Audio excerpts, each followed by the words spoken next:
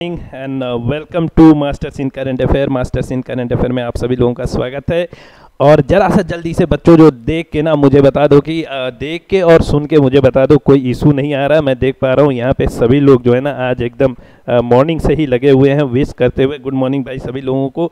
जब तक सेशन आगे बढ़ा रहे हैं, तब तक जितने लोग आप लोग यहाँ मौजूद है, तुरंत लाइक कर दो। सेशन का लिंक उठाओ और शेयर कर दो जहाँ जहाँ। और सबको चैलेंज कर दो। आज पच्चीस क्वेश्चन का एमसीक्यू होगा भैया, ठीक है? और जिसमें जिसमें जो है ना दम है, वो आ जाए, ठीक है? तो आई होप क्लियर है सभी चीज़ें मैसेज आपको मिल रहा है। बिल्कुल सही। गुड मॉर्निंग भैया गुड मॉर्निंग यहाँ से तेलंगाना से कौन है भाई? G B V T V बहुत सही फैजल लाइक एंड शेयर कर रहे हैं। वेरी गुड बहुत अच्छी बात है। Manish Kumar good morning Smriti Jha good morning Jyoti entertainment good morning भाई। Ritesh ji good morning Abhishek and Sandipta and Yuvraj and Abhishek Bhama and Shibu आप सभी लोगों को गुड मॉर्निंग तो मेरे ख्याल से सभी लोग सेशन के लिए तैयार हैं। हम लोग जल्दी से सेशन पे जाएँ। वॉइस इज़ क्लियर कोई इशू कोई दिक्कत कोई आ, आपको आ, मतलब सब कुछ नॉर्मल आपको लग रहा है कोई भी एबनॉर्मलिटीज़ नहीं दिख रही है ऐसा मुझे उम्मीद होगा और इसी उम्मीद के साथ जो है मैं आगे बढ़ता हूँ जल्दी से और आगे जैसे ही आगे मैं बढ़ूँगा वैसे ही जो है हम लोग आज का बहुत ही मज़ेदार सेशन देखने जा रहे हैं। देखो इन्फॉर्मेशन एकदम कॉम्पैक्ट एकदम भरा हुआ देखो आप बैंक एसएससी रेलवे वगैरह की जितनी भी आप तैयारी करते हो ना उस पूरी तैयारी के लिए जो है ना मटेरियल बहुत ही बढ़िया है ये। ठीक है एकदम एग्ज़ाम ओरिएंटेड मटेरियल है ना ही बहुत ज़्यादा उसमें एक्सप्लेनेशन या बहुत ही ज़्यादा उसमें स्टोरीज़ हैं और ना ही ऐसा है कि लेवल से तो नीचे चला जाए, ठीक है? तो ये एकदम पैक्ड है, समझो, हमेशा याद रखो कि आप किन चीज़ों पर फोकस कर रहे हैं, उसको आप देखने की कोशिश करो, ठीक है? चलो तो I hope everybody is ready तैयार हैं सब लोग? एकदम सेशन को शेयर कर दिया। एवरीथिंग इज़ फाइन समदीप बता रहे हैं, बहुत अच्छी बात है। कुलदीप जी भी कह रहे हैं भाई एवरीथिंग इज़ ओके चलिए गुड मॉर्निंग भाई, प्रवीण कुमार साहनी गुड मॉर्निंग नमस्कार आपको भी। और चलो, जल्दी से हम लोग आगे बढ़ते हैं सेशन को आगे लेकर चलते हैं, ठीक है? और देखो, आज के सेशन में जो है, हम लोग पहले, सबसे पहले शुरुआत करेंगे। जैसे होता है ना, जैसे स्कूल में जाते हैं, सरस्वती वंदना होती थी। वैसे ही यहाँ पे जब आप आते हो ना तो आपका I can and I will वंदना होती है। तो I can and I will क्यों मैं बार बार आपको कहता हूँ कि ये बात जो है, अपने दिमाग में बैठा लो। इसको कहने का एक मकसद है, बहुत बहुत ये आप सोचो, ये बहुत बड़ी चीज़ है जो मैं करना चाह रहा हूँ। वो देखो, कभी भी, कोई भी ट्रबल कोई भी प्रॉब्लम कोई भी चीज़ आती इनफैक्ट जब लास्ट बॉल पे छक्का मारना होता है ना, तब भी अगर मन में ख्याल आया कि मार लूँगा तो मार दोगे। कोई भी खिलाड़ी मार सकता है। लेकिन अगर मन में ऐसा आ गया कि नहीं नहीं कर पाऊँगे डाउट आ गया तो आप देखना या तो बोल्ड हो जाओगे या कैच हो जाओगे, ठीक है? या तो फोर रन चला जाएगा, लेकिन छः रन नहीं मिलेगा। ठीक है तो ये थॉट का प्रोसेस है कि यार देखो, अपने मन को समझाना बहुत ज़रूरी है कि मेरे बस का ये है, मैं कर लूँगा यार, लोगों ने किया, मैं भी कर लूँगा। ठीक है, ये चीज़ अपने माइंड को समझा दो। परिस्थिति कुछ भी हो फाइनेंशियल पोजिशन ना सही हो, ठीक है? फाइनेंशियल पोजीशन फाइनेंशियली सर हम बहुत वीक फैमिली से बिलोंग करते हैं। कोई दिक्कत नहीं। भगवान ने जो है, हाथ, पैर, आँखें, मुँह सब कुछ दिया हुआ है। माँ बाप ने खून पसीना एक करके पढ़ाया हुआ है। ठीक है, इसका इस्तेमाल करके हम अपने आप को इतना तो कर ही सकते हैं, सक्षम कि हम अपनी अपनी ज़रूरतों को कम से कम पूरा कर लेंगे। हो सकता है कि आप किसी और प्रॉब्लम की वजह से एरिया ऐसा हो कि जहाँ पे आप एक्सेस नहीं कर पा रहे हो सब सर्विसेज़ को तो उसका भी आप उपाय अपने आप से बस बदल सकते, अपना, अपनी जो स्थिति है उसको बदल के जो है वहाँ पे आप कर सकते हैं। तो बहुत सी प्रॉब्लम आएँगी, देखो चैलेंजेस आएँगे आदि से नहीं आएँगे, ये आगे भी आएँगे, लेकिन जो मन का जो ख्याल है ना आपका कि हाँ मैं कर लूँगा, मैंने पहले भी किया हुआ है I trust myself I have that strength the moment you start thinking जिस जिस वक्त, जिस क्षण आपके मन में ये ख्याल आ गया कि हाँ मैं कर लूँगा, मेरे बस का है, मैं कर लूँगा, उसी दिन जो है आप विजयी हो जाते हैं। ठीक है तो ये बात याद रखना। जल्दी से सेशन में बच्चों लिख दो यहाँ पे कि आप लोग I can and I will करते हुए चलना है। बिल्कुल एकदम कमेंट सेक्शन में लिख दो I can and I will ठीक है? चलो, बहुत अच्छी बात है, सभी बच्चे तैयार हो गए हैं। बिल्कुल रेडी एकदम रेडी एकदम सेशन को शेयर करते रहो। Now we are going to move ahead पहले हम लोग थोड़ा सा न्यूज़ का सेक्शन देख लेंगे, ठीक है? न्यूज़ का सेक्शन देखने के बाद जो है हम लोग आगे बढ़ते हुए एमसीक्यू के, सीधे एमसीक्यू के सेक्शन में जाएँगे। बीच के सभी सेक्शन मैंने हटा दिए ताकि आपको ज़्यादा टाइम जो है एमसीक्यू सेक्शन पे यहाँ पे मिल सके, क्योंकि 25 क्वेश्चन है, ठीक है? चलो, तैयार है सभी लोग सर मंथली पीडीएफ मिलेगा। बिल्कुल मंथली पीडीएफ जो है वो आपको जो अवेलेबल हो जाएगा, ठीक है? चलिए, बहुत अच्छी बात है। डेली एकदम पार्टिसिपेट करते रहें, डेली एक्टिव रहते रहें। चलो और भी लोगों को जल्दी से इनवाइट कर लो, हम लोग स्टार्ट करेंगे कुछ देर में, ठीक है? चलिए, अब पहले आप समझ लो, यहाँ पे कोटेशन की हम लोग बात करते हैं। डेली एक कोटेशन मैं लेकर आता हूँ। उसका जो मतलब है, उसकी जो मीनिंग है, उसकी जो डेप्थ है, ठीक है? उसको आपको समझने की ज़रूरत है। यहाँ पे देखिए, लिखा हुआ द मेजर यहाँ पे अगर आप देखोगे तो लिखा हुआ the measure of who we are is what we do मतलब अगर आपको ये नाप नहीं, कुछ लोग नाप तोल करते हैं कि मुझे जानते हो क्या मैं ये हूँ, वगैरह वगैरह, या मन में ख्याल आता अब मैंने ये कर दिया। ये जो ख्याल आते हैं ना, उसका जो मेज़रमेंट है, आप किस बेसिस पे करो ये यहाँ पे ये बताया गया, ठीक है?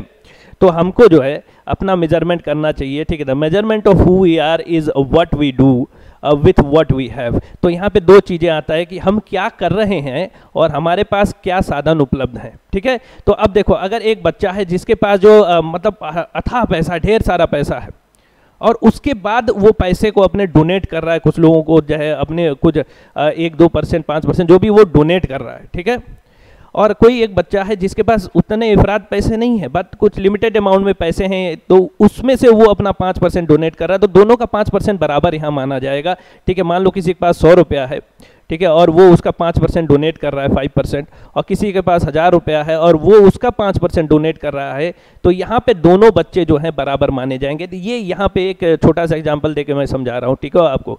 तो यहाँ पे हमेशा समझिए, आप क्या हैं, इसको मेज़र करने की सबसे अच्छी सबसे अच्छा तरीका क्या है कि आपके पास जो साधन, जो चीज़ें मौजूद हैं, उससे आप क्या कर लेते हैं, ठीक है? ये बात क्लियर है आपके पास? आई होप चलो जल्दी से आगे बढ़े। यहाँ पे देख लीजिए, आज हम लोग फ्रेंडशिप डे मना रहे हैं। भैया, ये फ़र्स्ट संडे ऑफ़ अगस्त को मनाया जाता है तो हैप्पी फ्रेंडशिप डे आप सभी लोगों को, ठीक है? और एकदम फ्रेंडशिप डे बिल्कुल मनाएँ। और बिल्कुल बहुत अच्छे। सभी बच्चों को मालूम भी है कि हाँ आज ये मनाया जा रहा है, ठीक है? चलिए तो it it it talks about the first Sunday ठीक? चलिए, आगे बढ़ते हैं हम लोग। अब देखिए करंट अफेयर के सेक्शन में आते हैं। सबसे पहले देखिए क्या है। ये जो आपको तस्वीरें देख रही हैं, नीचे आपको मास्क की तस्वीरें देख रही हैं ना, ये मास्क है, ठीक है मास्क है। ये डब्बा जो है, इस डब्बे को यहाँ पे जैसे न्यूज़ के अनुसार कहा गया कि ये डब्बा लॉन्च किया गया ना। इस डब्बे का नाम जानते हो क्या? इस डब्बे का नाम है गिफ्ट बॉक्स। यहाँ पे देखो न्यूज़ में क्या कहा गया? न्यूज़ में कहा गया कि केंद्रीय एमएसएमई मंत्री नितिन गडकरी ने खादी और ग्राम उद्योग आयोग द्वारा विकसित उपहार बॉक्स का शुभारंभ किया। Union minister of MSME Nitin Gadkari launches the gift box develop by Khadi and village industry commission that is K V I C ठीक है तो ये जो गिफ्ट बॉक्स आपको दिख रहा है, इस गिफ्ट बॉक्स में क्या रखा हुआ इस गिफ्ट बॉक्स में रखा हुआ है आपको मास्क ठीक है? इसमें जो है मास्क रखे हुए थ्री पेयर्स ऑफ़ मास्क रखे हुए हैं। जो कि रेशम से बने हुए ठीक है? सिल्क के, सॉरी, सिल्क से बने हुए हैं, ठीक है? तो ये सिल्क के मास्क हैं और ये जो सिल्क के मास्क हैं, ठीक है? ये अलग अलग कलर और प्रिंट के बनाए गए हैं, ठीक है? तो there are actually four mask inside यार हैंड क्राफ्टेड अब सबसे बड़ी चीज़ ये है कि ये हैंड क्राफ्टेड है, ठीक है? हाथों से बनाए हुए मास्क हैं, ये नो मशीन यूज़ ठीक है? Four mask are being kept in this box ठीक है? हाँ बिल्कुल एकदम चार मास्क है अगर यहाँ पे आउट काउंट करोगे ठीक है? तो चार मास्क जो है हर बॉक्स में रखा हुआ है के ने बनाया है। इस बॉक्स की कीमत है आपकी पाँच सौ रुपये ठीक है? पाँच सौ रुपये और ये अभी दिल्ली वालों के लिए अवेलेबल है ठीक है? तो ये बात आपको समझ में आ गई। तो गिफ्ट बॉक्स क्या है?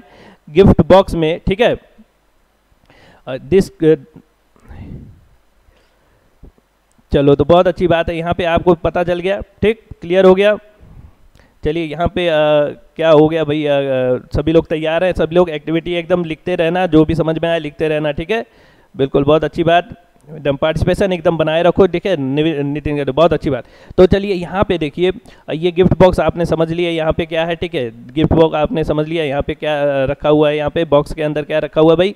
बॉक्स के अंदर रखा हुआ है फोर डिफरेंट रेशम के, यानी सिल्क के मास्क जो है, वो रखे हुए हैं, ठीक है? के वी की चर्चा हम लोग कल भी किए थे, ठीक है? के वी की चर्चा हम लोग कल भी किए थे कि आई टी जो है उसके साथ जो है इन्होंने क्लोथ वाला जो खादी क्लोथ का इन्होंने सौदा किया हुआ, ठीक है? एक एग्रीमेंट किया हुआ है, ठीक? तो कल भी हम लोग इसकी चर्चा किए थे के की, आज भी इसकी चर्चा कर रहे हैं हम लोग के की, ठीक है? चलिए, आगे देखते हैं हम लोग हमारे पास क्या है। United Nation will neither use और nor officially endorse the new map Nepal map अब देखो यहाँ पे क्या है। आपको मालूम होगा एक लंबी श्रृंखला, घटनाओं की एक लंबी श्रृंखला जो है, वो चली आ रही है। इसमें क्या हुआ है? देखो इसमें हुआ ये है कि एक दिन जो है, हमारे जो राजनाथ सिंह जी हैं। राजनाथ सिंह जी यानी डिफेंस मिनिस्टर हैं। उन्होंने एक यहाँ पे रोड जो है उसका उद्घाटन कर दिया, ठीक है? यहाँ पे रोड उद्घाटन कर दिया, जो रोड जो है यहाँ से होते हुए, अब मान सरोवर ये जो मानसरोवर का लेक है, वहाँ तक जाता है, ठीक है? तो उन्होंने कर दिया उद्घाटन, लगभग 80 किलोमीटर का जो है वो रास्ता था। उन्होंने उद्घाटन कर दिया उसका। जैसे उन्होंने उसका उद्घाटन किया, ठीक है? तो वैसे ही जो है दर्द यहाँ शुरू हुआ, ठीक है? नेपाल में जो ओली जी हैं उनको दर्द की गोली लेनी पड़ी। अब वहाँ से वो कहने लगे नहीं भैया, ये तो मेरा हिस्सा है, ठीक है? ये नेपाल का हिस्सा है और नेपाल का हिस्सा इसलिए है क्योंकि एक समझौता हुआ था और उसमें जो है काली नदी के उधर साइड में जितने भी चीज़ें हैं, वो नेपाल के हिस्से में आ जाएगा। एंग्लो एंग्लो नेपालिस वॉर हुआ था, उसका ये फैसला है। ठीक है, ये सब मतलब अपनी जो भी तर्क शक्ति सभी लोग लगा रहे हैं। ठीक है the truth is Nepal is being motivated by China ठीक है because both both the countries have communist country communist government and specially mister Oli is too much endorse by China ये भी आप देख रहे हैं, क्योंकि हाल ही में जो है, उनके बयान भी थोड़े डिस्टर्ब्ड आते हैं। उनके हिसाब से जो है प्रभु श्री राम जो है, वो नेपाली थे, उनका ये कहना था जिसके लिए उनको जो है हर जगह जो है बहुत बुरी तरीके से ट्रोल किया गया। ठीक है, और इसका रिज़ल्ट ये भी है कि वहाँ के कहीं ना कहीं शासन सत्ता में उनकी पकड़ भी कमज़ोर होती जा रही धीरे धीरे उनको चैलेंजेस मिलने शुरू हो गए हैं। ठीक है तो ये एक उनका था कि कंट्रोवर्सी उनकी यहाँ पे आनी शुरू हो गई। ठीक, अब यहाँ पे ये जो न्यूज़ आई है ना, ये न्यूज़ क्यों कही गई? देखो सीधी सी बात है, ना, जो अपने यूएन अपने जो साइट है, अपना जो, वो नक्शा जो दिखाता है यूएन वो साफ़ साफ़ वो अपने शब्दों में कहता है, भैया, हम इस नक्शे को एंडोर्स नहीं करते हैं। ठीक है? ये वहाँ पे इसकी यूएन की तरफ़ से हंड्रेड परसेंट बात आती है। ठीक? मान लीजिए नेपाल ने नक्शा भेजा यूएन को कि, भैया, ये हमारा नक्शा है। ठीक है? तो यूएन कभी भी उसको एंडोर्स नहीं करता। ठीक है? ये एकदम क्लियर यूएन ने कह दिया है। ठीक है? अब देखिए, ये दर्द किस चीज़ का है? जो रोड इनोग्रेट हुई थी डारकुला लिपुले पास लिंक रोड जो है, आठ मई को ये इनोग्रेट हुई थी वीडियो कॉन्फ्रेंस द्वारा, ठीक है? अब काला पानी जो है ना, Kala Pani is located on the outermost corner of Pithoragarh district ये जो पार्ट आप देखो ना, ये पिथौरागढ़ डिस्ट्रिक्ट है उसका उत्तराखंड का, ठीक है? उत्तराखंड का तो वहीं पे ये लोकेटेड है, ठीक है? ये डारकुला आपको दिख रहा है यहाँ पे, ठीक? अब या, ये पूरे, पूरा रीजन जो आता है ना, ये ट्राई जंक्शन बनाता है जो नेपाल, चाइना और यहाँ पे देखोगे तो इधर जो है हमारे तिब्बत का एरिया है जो कि चाइना द्वारा कब्जा किया गया है, फिर यहाँ पे नेपाल आपको दिख रहा है, भारत। ठीक है तो ये ट्राई जंक्शन इसको माना जाता है, ठीक है? ट्राई जंक्शन माना जाता है, यानी तीन देशों का जहाँ पे बॉर्डर मैच करते हैं ना, मिलते हैं, उसको हम ट्राई जंक्शन यहाँ पे कह रहे हैं। ठीक? और जो तो यहाँ पे जो रिवर सबसे पास की बहती हुई है काली जिसके नाम पे काला पानी का नाम रखा गया ऐसा माना जाता है ठीक है? तो यहाँ पे ये प्रॉब्लम ये, ये शुरू हो गई ठीक? अब देखिए ये जो नक्शा आप देखोगे तो नेपाल ये कहता है कि भैया देखो ये जो आपको सांप की तरह दिख रहा है ना थोड़ा सा निकाल इन्होंने निकाल के ये पार्ट आगे कर दिया ठीक? ये पार्ट ये क्लेम कर रहे हैं ठीक? अपने नक्शा में इन्होंने दिखा दिया ये मेरा है। ठीक है जी? जिसका मतलब कोई कोई मतलब नेपाल को छोड़ के बाकी कोई एंडोर्स नहीं कर रहा इस चीज़ को, ठीक? अब ये देखिए, ये जो कलर्ड एरिया है, ये एक्चुअली इंडिया का पार्ट है जिसको ये अपना दिखाने की कोशिश कर रहे हैं यहाँ पे, ठीक है? ये इंडिया का पार्ट है जिसको अपना दिखाने की ये कोशिश कर रहे हैं, ठीक है? ये लिपुलेक यहाँ से है और आगे बढ़ेंगे तो आगे जाके जो है आपको मानसरोवर मिल जाएगा, देखिए यहाँ पे।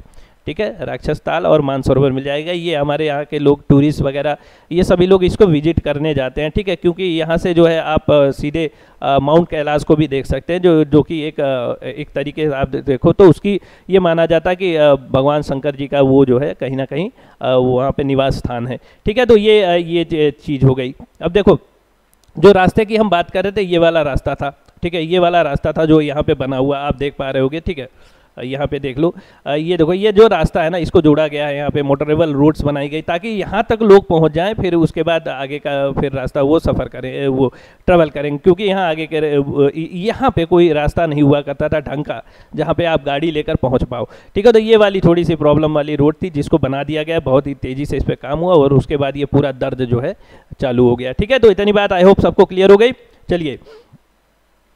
अब यहाँ पे देख लीजिए government is working government is working with the with the RBI on the need for restructuring of the loan to help industry tide over impact of COVID 19 ठीक है तो यहाँ पे देखो, यहाँ पे ये न्यूज़ लाने की ज़रूरत क्या थी? इसकी ज़रूरत ये थी कि देखो आपको मालूम है, जितनी भी इंडस्ट्री है, जितनी भी कंपनियाँ हैं, वो कहीं ना कहीं सफ़र कर रही कोविड नाइन्टीन की वजह से। बिज़नेस हो नहीं पा रहा लोन ले रखा है ई जाना ही जाना।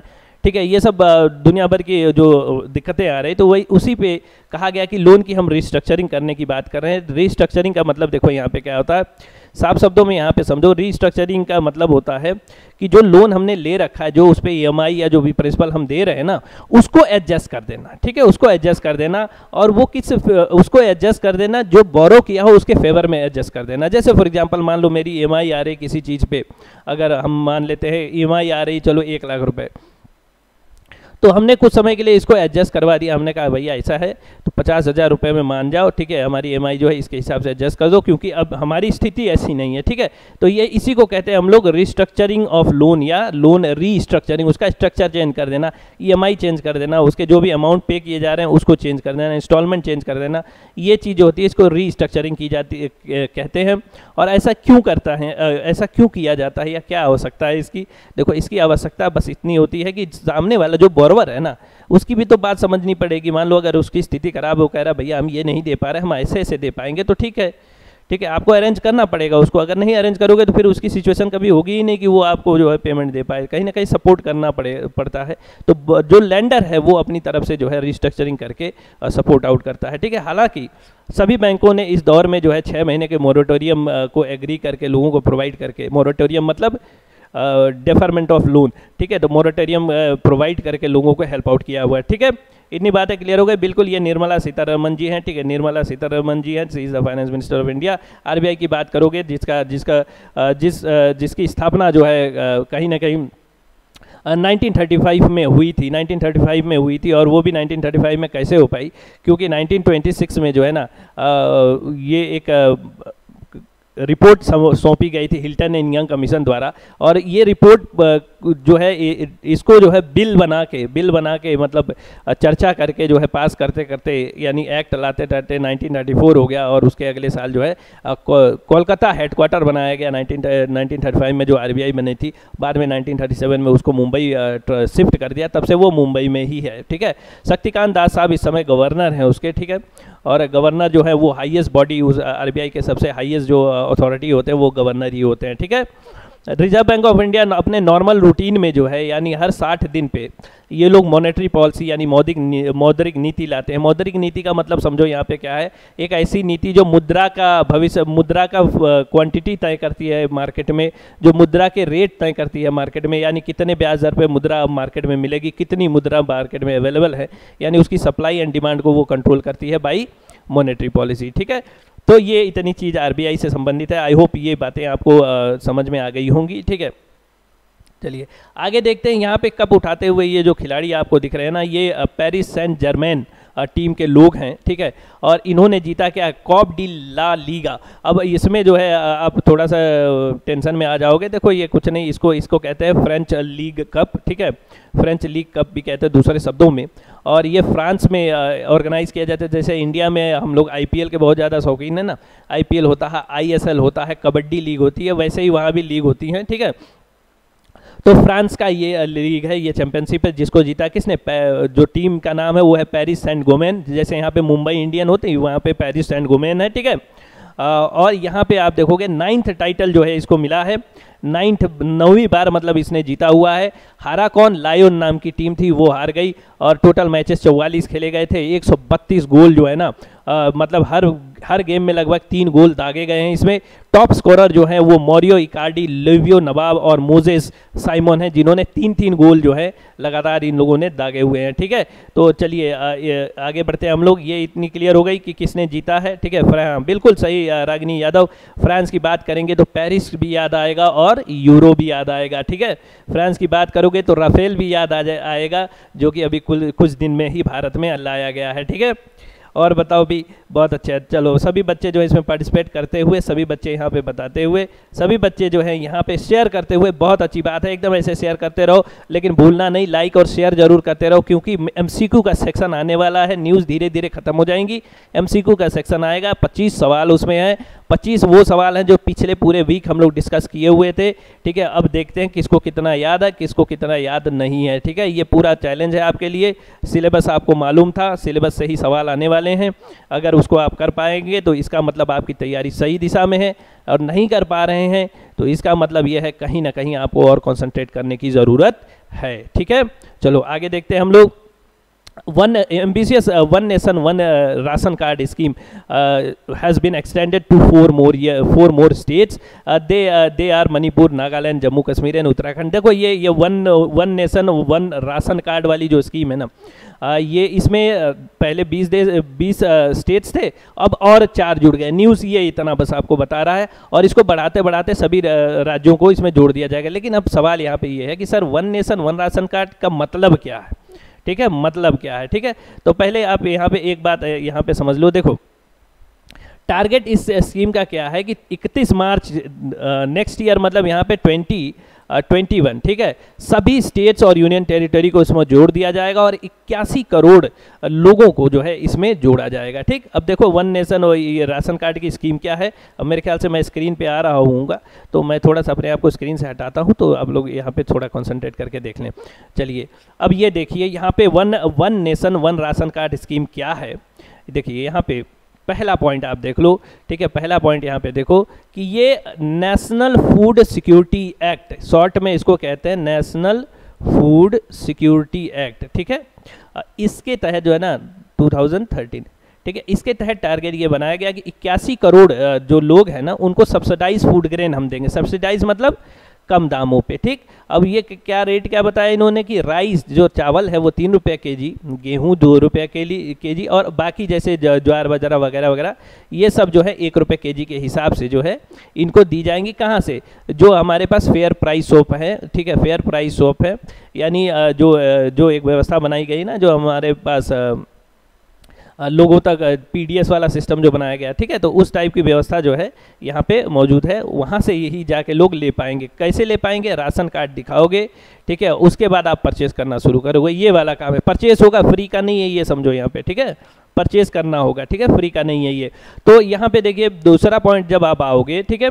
तो 23 करोड़ राशन कार्ड इशू हुए हैं, जिसमें 80 करोड़ लोग जो है, इसके अंदर बेनिफिशियरी बने हैं। मतलब इसके अंदर लाभ प्राप्त कर सकते हैं। किसके अंदर? नेशनल फ़ूड सिक्योरिटी एक्ट के तहत, ठीक है? वो प्राप्त कर सकते हैं, ठीक है? इसके लिए एक पोर्टल भी मौजूद है जिसका नाम है अन्न वितरण पोर्टल ठीक है? इससे क्या होता है? इससे जो है ना माइग्रेंट वर्कर यानी जो वर्कर होते हैं ना, जो अपना स्थान छोड़ के किसी और जगह जाते हैं वर्क करने के लिए, ठीक है? और उनकी फैमिली जो है ना, इसका बेनिफिट जो है, ठीक है?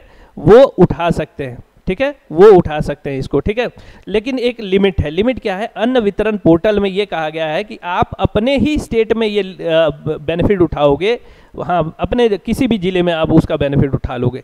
ये अन्न वितरण पोर्टल की सर्विस से मिलता है। लेकिन जैसे ही one one nation, one ration card की बात की गई, वैसे ही यहाँ पे I M P D S system लाया गया, जिसको कहा गया integrated management of public distribution system जो कि अप्रैल 2018 में लाया गया, ठीक है? अब इससे जानते हो बेनिफिट क्या होगा? इससे बेनिफिट ये है कि आप भारत में किसी कोने में रहोगे, आप अपने जो राशन कार्ड है उसका इस्तेमाल करके जो है सब्सिडाइज पे आप ये ग्रेन वगैरह ले सकते हो, ये कहा गया, ठीक है?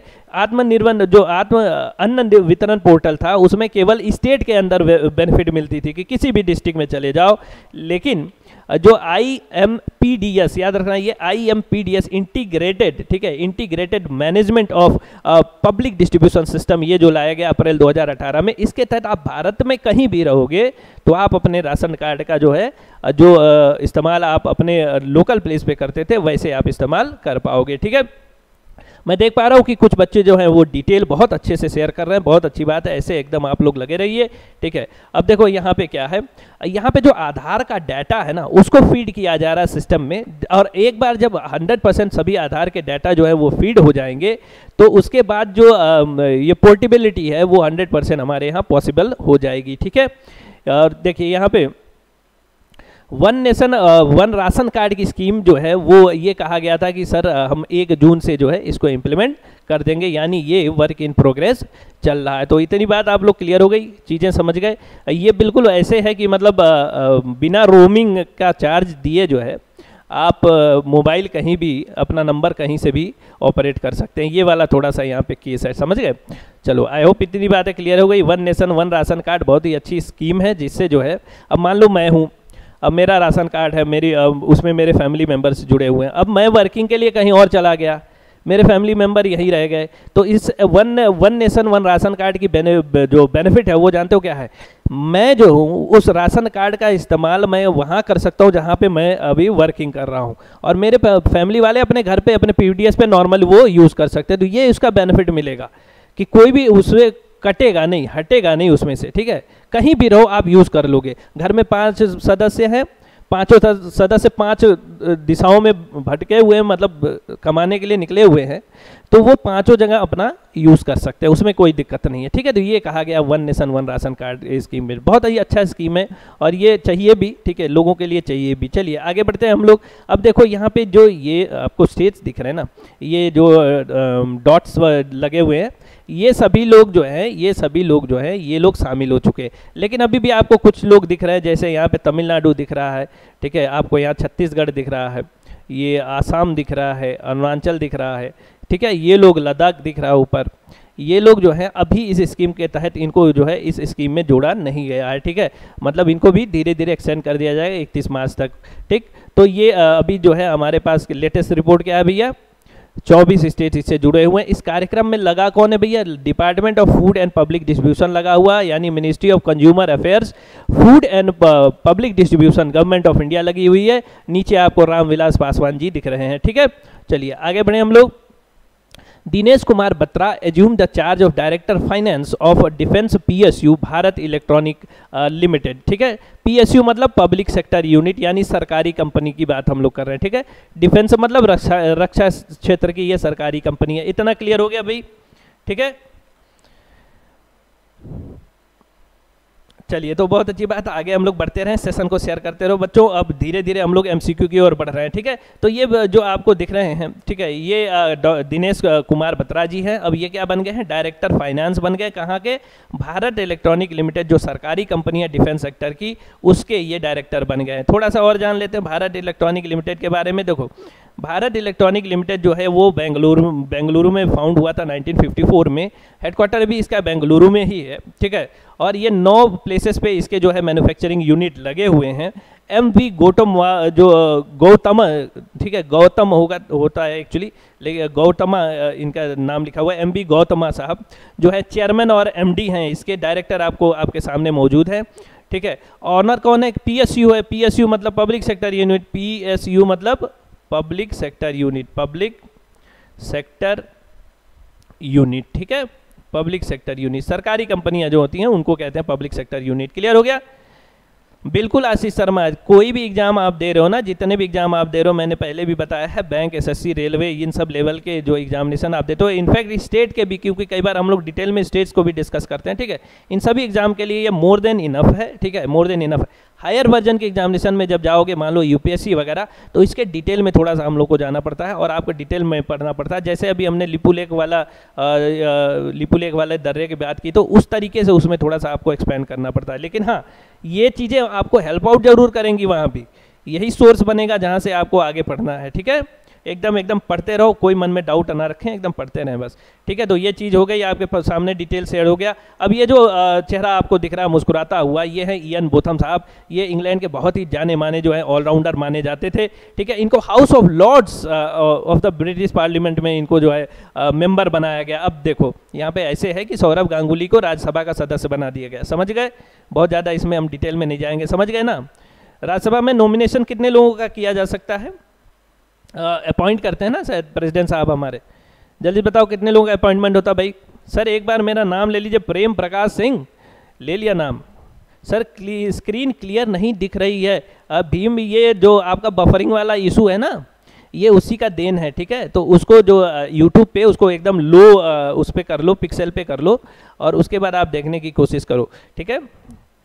चलिए, बहुत अच्छी बात है। ओनर बिल्कुल गवर्नमेंट ऑफ़ इंडिया है। वेरी गुड बहुत अच्छा संध्या रॉय शुभम भीम और सभी लोग जो है इसमें पार्टिसिपेट कर रहे हैं। बहुत अच्छी बात है। भीम जो है तब स्क्रीन क्लियर नहीं दिखाई दे रही है। वो नेटवर्क का इशू है भीम, ठीक है? वो नेटवर्क का इशू है। नेटवर्क की वजह से ऐसा हो जाता है।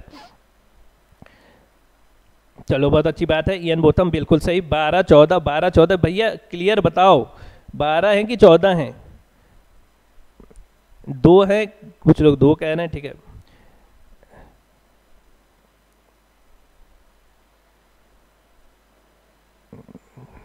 चलो एंग्लो इंडियन की आप बात करो शायद। ठीक है? चलिए। बारह लोग, चलिए, कुलदीप कुमार वर्मा कह रहे हैं, बारह लोग, बाकी लोग भी बारह लोग बारह लोग। और जब आपने आरएस लिखा था ना, राज्यसभा तो मैंने सोचा आरएस का मतलब होता है ना आप लोग यहाँ पैसे की बात कर रहे हो, ठीक है? राज्यसभा। चलो, बहुत अच्छी बात है। तो इतना क्लियर हो गया ना?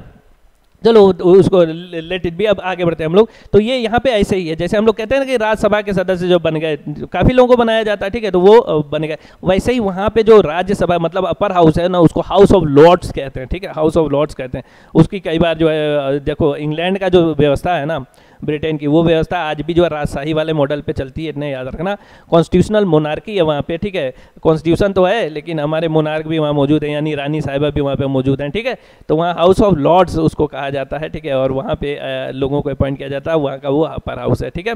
चलिए, ये क्लियर हो गई कि वो क्या है? वो अपर हाउस उसको माना जाता है, ठीक है? और यहाँ पे जो लोग जाते हैं ना, देखो, यहाँ पे और थोड़ी सी एक वो हंसने वाली बात कहें कि ये कहें कि यहाँ पे जैसे भारत को अक्सर कई देश जो है ये सिखाते रहते हैं, भैया आपके यहाँ जो है ऐसा ये प्रथा, वो प्रथा, दुनिया भर का वो अपने की रबान को नहीं झाँकते। देखो यहाँ पे इतना बड़ा देश है, दुनिया में सब पे जो है वो अत्याचार इसने किए, किसी देश को छोड़ा नहीं इसने, ठीक है? अब ये देखो इसके यहाँ कैसे अपॉइंटमेंट कैसे होता है, ठीक है? मेंबरशिप इज़ ग्रांटेड बाई देखो यहाँ ये लाइन आप देखो membership is granted by appointment चलो ठीक है अपॉइंटमेंट कर दिया, बहुत अच्छी बात है बाई हेरिडिटी हेरिडिटी का मतलब जानते हो क्या है? मतलब किसी एक पर्टिकुलर लीनियज के लोग होंगे, उनको आप अपॉइंट कर दोगे। यानी जो राजा महाराजा या जो वहाँ पे थे ना लॉर्ड ओल्ड वाली जो कैटेगरी होती, उनको यहाँ पे आप अपॉइंट कर हेरिडिटी से अपॉइंटमेंट अब आप समझो कि हेरिडिटी से अपॉइंटमेंट हमारे यहाँ के राज्यसभा में होने लगे तो हर जो राजनेता है ना तो उसके खानदान का कोई ना कोई उसमें रहेगा ज़रूर। मतलब ये तो लॉन्ग टर्म जो है ना बिज़नेस हो गया। ठीक है तो आप समझो यहाँ पे हेरिडिटी की यहाँ पे ये बात कर रहे हैं, ठीक है this is a very ridiculous thing ठीक है, और बाकी ऑफ़ बाकी ऑफिशियल फ़ंक्शन है तो बाकी तो ठीक है, लेकिन ये जो है, इसने मेरी, मेरे ध्यान को बहुत तगड़े से खींचा कि हेरिडिटी से यार कैसे आप लोगों को उसमें जोड़ सकते हो, ठीक है, चलो ये चीज़ है, चलिए। तो आगे बढ़ते हैं हम लोग। आगे देख लीजिए N H I has cleared N H I मतलब national highway authority of India जो हमारे सड़कें बनते हैं ना बड़े बड़े ठीक है? तो उसको यही साहब जो है उसको बनाते हैं मेंटेन करते हैं, देखते हैं, ठीक है? इन्होंने क्या किया? चार हज़ार करोड़ का एक प्रोजेक्ट जो था वो इन्होंने क्लियर किया। ये प्रोजेक्ट चंडीगढ़ और लुधियाना के बीच में होना है, ठीक है? ये फास्टर कनेक्टिविटी के लिए मतलब वो सड़कें ऐसी बनाई जाएँगी कि उसमें देखो, ये सड़कें आप देख रहे हो ना, यहाँ पे ये जो ये लगा दिए गए हैं। इससे क्या होगा? और बीच में ये डिवाइडर है। तो जो गाड़ियाँ जा रही हैं, ठीक है, ये गाड़ियाँ अगर मान लो जा रही तो इनको ब्रेकिंग ज़्यादा नहीं करनी पड़ती है। नहीं तो क्या होगा? यहाँ से कहीं गाय आ गई, कहीं भैंस आ गई, कहीं लोग आ गए, ठीक है। दौड़ते हुए सड़क पे आ गए या सड़क क्रॉस कर रहे हैं या यूँ कुछ लोग टहलते भी हैं तो यूँ टहल रहे हैं, ठीक है? तो ये भी हो सकता है। तो इससे क्या होती है, ये जो गाड़ियाँ होती है ना, ये हमेशा स्लो मोड में ही चलती रहती हैं, इनकी एवरेज स्पीड कम हो जाती है, ठीक है?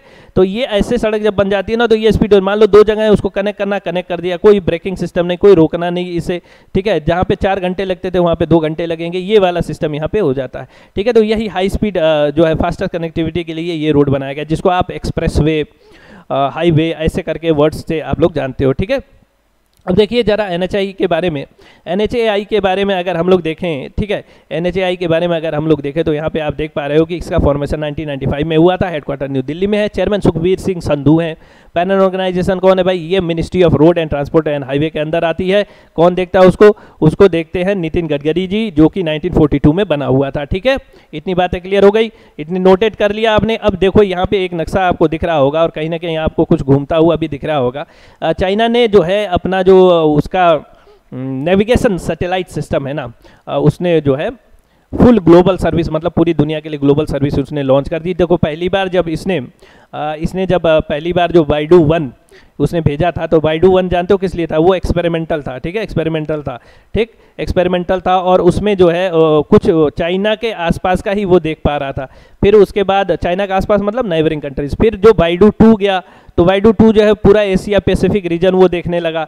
और ये जो बाइडू थ्री जब इसको किया गया तो ये पूरा वर्ल्ड को ये देखने लगा, ठीक है? जैसे जीपीएस सिस्टम होता है तो ये चाइनीज़ जीपीएस सिस्टम है। याद रखना चाइनीज़ वर्ड ज़रूर लगा हुआ है इसके सामने, ठीक है? तो ये चाइनीज़ जीपीएस सिस्टम है, ठीक है? अब मेरे ख्याल से मैं आपको दिख नहीं रहा हूँ, लोग ये मैं दिख गया आपको। ठीक है तो ये चाइनीज़ जीपीएस सिस्टम है चाइनीज़ जीपीएस सिस्टम इसको लॉन्च कर दिया गया, ये आ गया है ऑलरेडी और आप यहाँ पे अगर देख पा रहे हो, मेरे ख्याल से पता नहीं आपके स्क्रीन पे ये मूवमेंट कर रहा है कि नहीं? हाँ मूवमेंट कर रहा है। आप देख पा रहे हो ना, ये हम दिखाने की कोशिश आपको क्या करना है? देखो, ये जो आपको यहाँ पे छोटे छोटे डॉट दिख रहे हैं ना, ये सैटेलाइट्स हैं। ये देखो, ये ऐसे मूवमेंट कर रहा है, ये इधर उधर पूरे मूवमेंट करके, ये कहीं ना कहीं पूरी दुनिया की जो है इमेज निकालने में सक्षम बन गए हैं, ठीक है?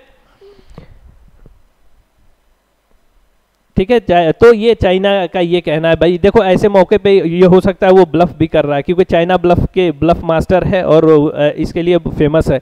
क्योंकि हाल ही में जैसे हमारे पास रफेल आया, ठीक है? तो रफेल आया तो उनके पास जो है, जो विमान था, जिसको वो कहते थे फिफ्थ जनरेशन बहुत ही high class style dash dash है, उसको तुरंत जो है उन्होंने फोर्थ जनरेशन कह दिया, ठीक है? लेकिन फिर भी उसके बाद टसन नहीं गई। उन्होंने ये ज़रूर कहा कि अरे रफेल जो है इसके आगे कुछ भी नहीं है। ठीक है? ये उन्होंने कहा तो ये देखो, चाइना इसे ब्लब मास्टर, उसके पास अब कुछ रह नहीं गया है। ठीक है, सिवाय इसके कि वो अपना प्रोपेगेंडा जो है वो चलाता रहे, ठीक है?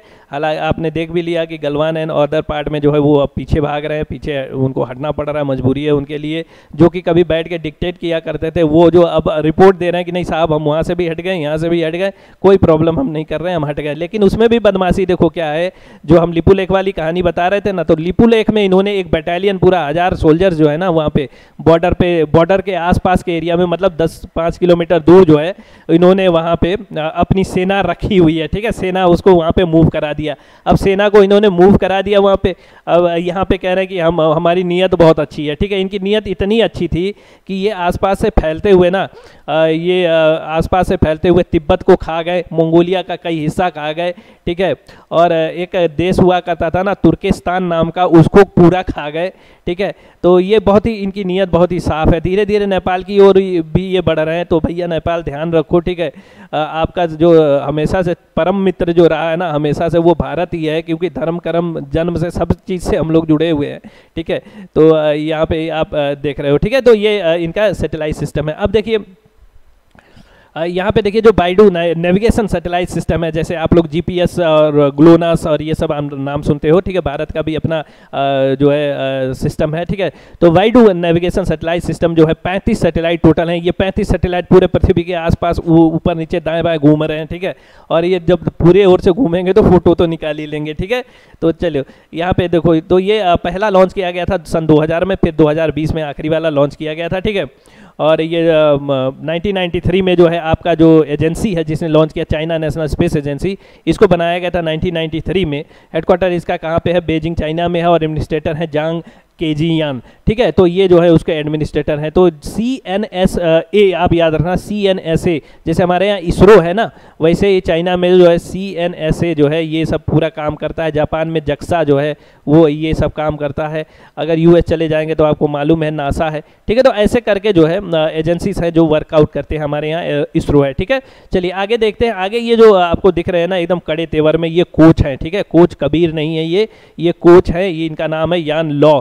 ठीक है, ये फुटबॉल खिलाते हैं, ठीक है? तो मोहम्मदन स्पोर्टिंग क्लब जो है, उसने यन लॉ को अपॉइंट किया अपना कोच के लिए जो आने वाले अगले जो आने वाले सीज़न है। और नीचे जो इमेज हम आपको दिखा रहे हैं, इसको ये सॉल्ट लेक स्टेडियम है सॉल्ट लेक स्टेडियम है। ठीक है, जहाँ पे जो है ये मोहम्मदन स्पोर्टिंग क्लब जो है अपनी प्रैक्टिसेस करते रहते हैं, ठीक है? तो ये देखिए, मोहम्मदन स्पोर्टिंग क्लब को क्या कहा जाता है? ब्लैक पैंथर के नाम से भी जाना जाता है। बहुत ही पुराना है भाई। अब almost I think one hundred और थर्टी नाइन ईयर्स इसको हो गए, ठीक है? ये एटीन वन में बना हुआ था, ठीक है? ग्राउंड जो सॉल्ट लेक स्टेडियम है, वहाँ पे ये इनके प्रैक्टिस होते हैं। नहीं तो एक स्टेडियम और है जिसको कहते हैं बरसात स्टेडियम, ठीक है? ये भी वेस्ट बंगाल, कोलकाता में मौजूद है। बरसात स्टेडियम इसको कहते हैं। वहाँ पे नहीं तो ये लोग जो है अपना प्रैक्टिस करते रहते हैं, ठीक है? इसके प्रेसिडेंट कौन है? इस जो क्लब है इसके प्रेसिडेंट है मोहम्मद अमीरुद्दीन ठीक है? और जो कोच साहब है सामने आपको दिख रहे हैं एकदम कड़े तेवर में यहाँ पे स्टैंड करके शायद आप ही लोगों को देख रहे हैं ठीक है? पढ़ाई ढंग से करो कह रहे हैं ठीक है? तो ये यान लॉ साहब हैं ठीक है? चलिए आगे बढ़ते हैं हम लोग। एक दुखद खबर जो कल आ, मिली दिन में वो ये थी कि जो राज्यसभा के एमपी हुआ करते थे और फॉर्मर समाजवादी पार्टी के लीडर हुआ करते थे अमर सिंह जी उनका जो है 64 वर्ष पे जो है उनका निधन हो गया।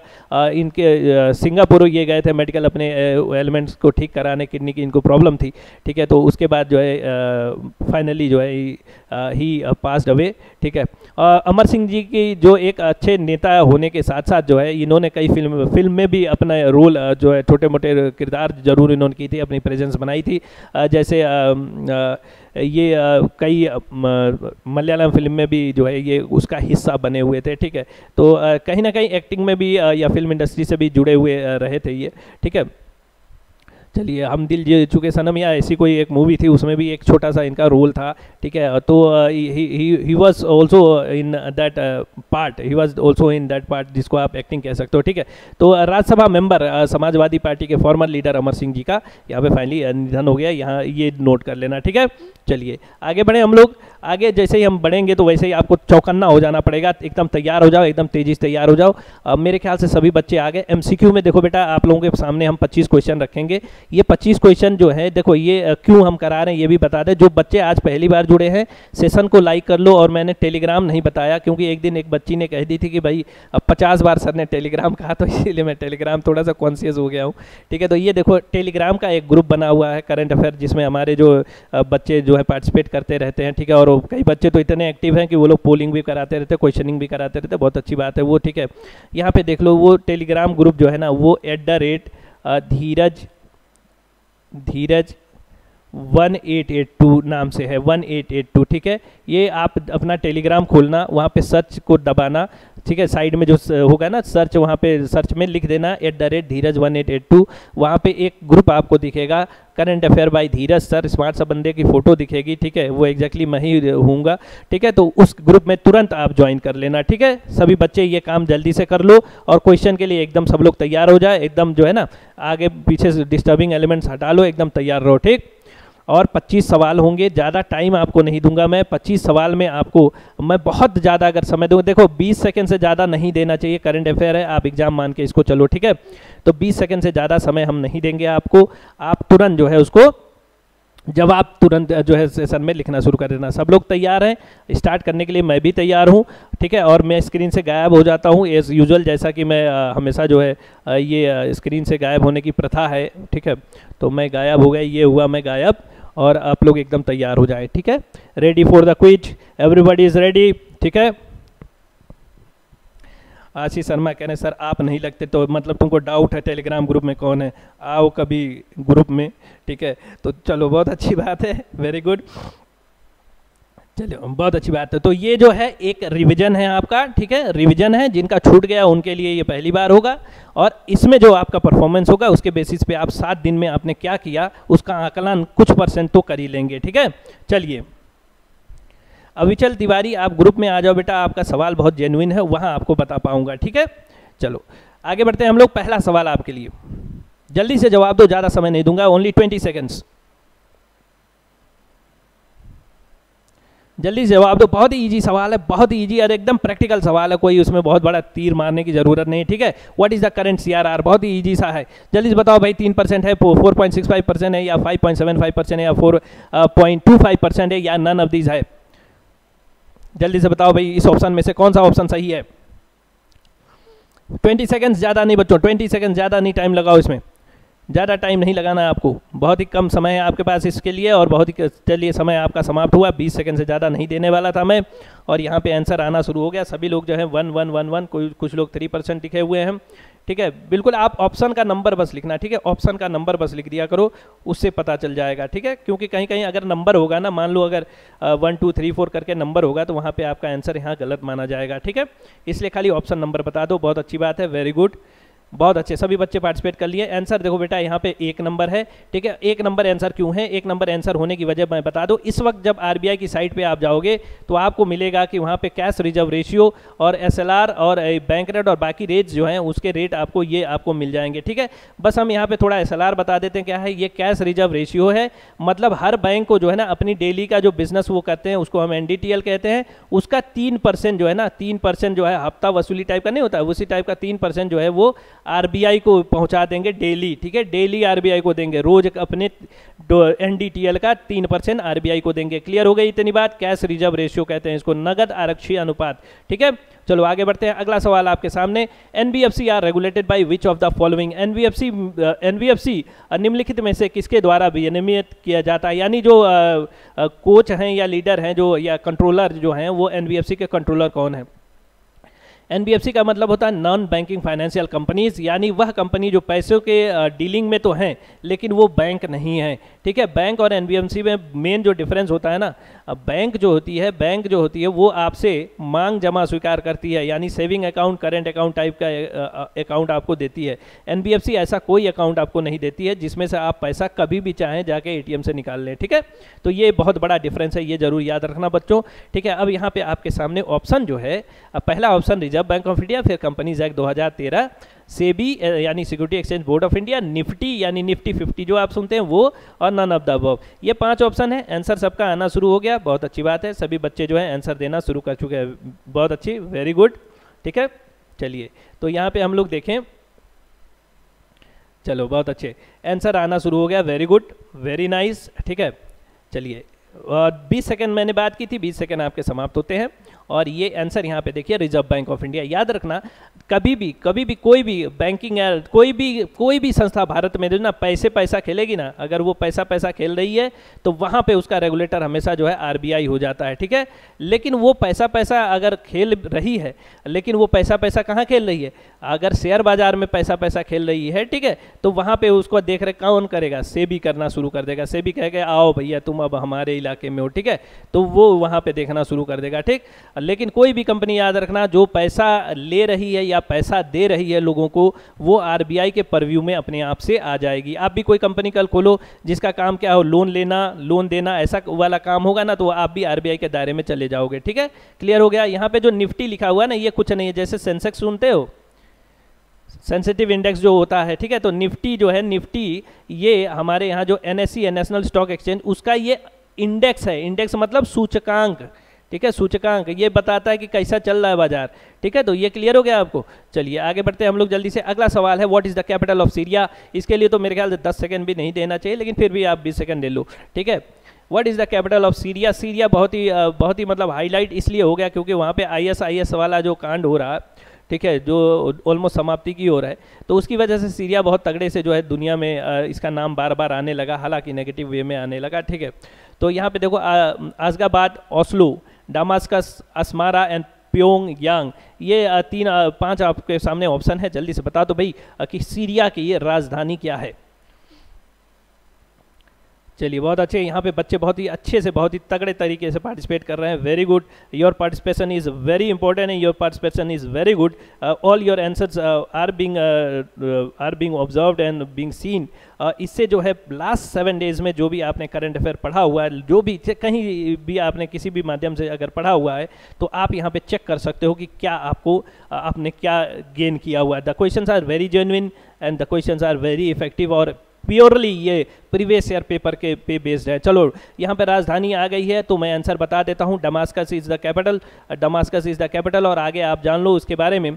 जब हम सीरिया की बात करेंगे तो सीरिया यहाँ पे देख लो आप डमास्कस इज़ कैपिटल और वहाँ पे पाउंड यूज़ होता है पाउंड यूज़ होता है। बाकी दो देश हैं जैसे तुर्कमेनिस्तान है वहाँ पर मन्नत यूज़ हो, होती है ठीक है। बात अगर हम बात करें तो तुर्कमेनिस्तान की बात करें। ओस्लो की बात करें तो नॉर्वे की प्योंग यानी जो अमेरिका का सबसे अच्छा दोस्त है नॉर्थ कोरिया ठीक है। असमारा की बात करेंगे तो एरिट्रिया की बात करेंगे जहाँ पे नकवा यूज़ होता है, ठीक है? चलो, बहुत अच्छी बात है बच्चों वेरी गुड पार्टिसिपेट करते रहें वेरी गुड और सेशन को शेयर करते रहें और लाइक ज़रूर करते रहना अगर सेशन पसंद आ रहा होगा, ठीक है? अगर सेशन पसंद आ रहा होगा तो लाइक ज़रूर करते रहना, बहुत अच्छी बात। चलो लाइक कर दिया सभी ने। चलो, यहाँ पे देखो सवाल आपके सामने है कि Holkar cricket stadium is situated in Holkar cricket stadium कहाँ पे याद रखो, एकदम ये आपका मिनी बैंक एग्ज़ाम हो रहा है ऑलमोस्ट ठीक है? ये मिनी एग्ज़ाम हो रहा है आपका ये। जल्दी बताओ होलकर क्रिकेट स्टेडियम कहाँ पे सिचुएटेड है? होलकर क्रिकेट स्टेडियम स्थित है। कहाँ पे भाई? दिल्ली में है मुंबई में है इंदौर में है गुड़गांव में है कि कोलकाता में है? जल्दी से बताएँ भाई। वेरी गुड वेरी गुड एकदम जल्दी से आंसर देते रहें। गुड मॉर्निंग भाई राज मीना गुड मॉर्निंग आपको। चलिए बहुत अच्छी बात एकदम very good that that is the way how to participate very good सभी बच्चे जो हैं दे आर वेरी एक्टिव एकदम जो है मतलब आंसर uh, एकदम तुरंत आ रहा है। बहुत अच्छा बात है very good all members are there Zara Kabir Kiran Kumari Raj Meena Deepa Sharma Sandipta Balram Singh सभी लोग, Bheem very good Kapil big boss जो हैं, वो भी मौजूद हैं. Ajit Verma very good Ragini Yadav very good चलो तो ये यहाँ पे आपको आंसर बता देता हूँ, बहुत ही ये ज़्यादा डिफ़िकल्ट क्वेश्चन नहीं है। तीन नंबर यानी इंदौर में आपको मिल जाएगा, ठीक है? इंदौर में आपको मिल जाएगा और अगर आप देखोगे तो ये होलकर स्टेडियम है जो कि एकदम जो इंदौर की शान बढ़ाता हुआ, ठीक है? चलिए आगे हम लोग देखते हैं which state celebrates the hornbill festival यानी कौन सा राज्य हॉर्नबिल फेस्टिवल मनाता है? असम, मणिपुर, मेघालय। त्रिपुरा और नागालैंड, ये पाँच राज्य आपके सामने दिख रहे हैं। इनमें से कौन हॉर्नबिल फेस्टिवल मनाता है? ठीक है, हॉर्नबिल फेस्टिवल कौन सा राज्य मनाता है? वेरी गुड, बहुत अच्छे। जल्दी से बताएँ कि which state celebrate the hornbill festival hornbill festival कौन सा राज्य मनाता है? पाँच राज्य आपके सामने हैं, यहाँ पे मौजूद हैं। असम, मणिपुर, मेघालय, त्रिपुरा और नागालैंड। जल्दी से बताएँ भाई। वेरी गुड यहाँ पे आंसर आना शुरू हो गया। बच्चों ने आंसर भी देना शुरू कर दिया। वेरी गुड बिल्कुल, बहुत अच्छे पार्टिसिपेशन है सबके। वेरी गुड आंसर एकदम आ रहा है। 20 सेकंड का। 20 सेकंड क्या? 30 सेकंड मैं इनडायरेक्टली आपको दे ही रहा हूँ। ठीक है? लेकिन कोई बात नहीं। आप लोग जो है ये टाइम लगा के सही जवाब निकालने में कोशिश करें। बहुत अच्छी बात है।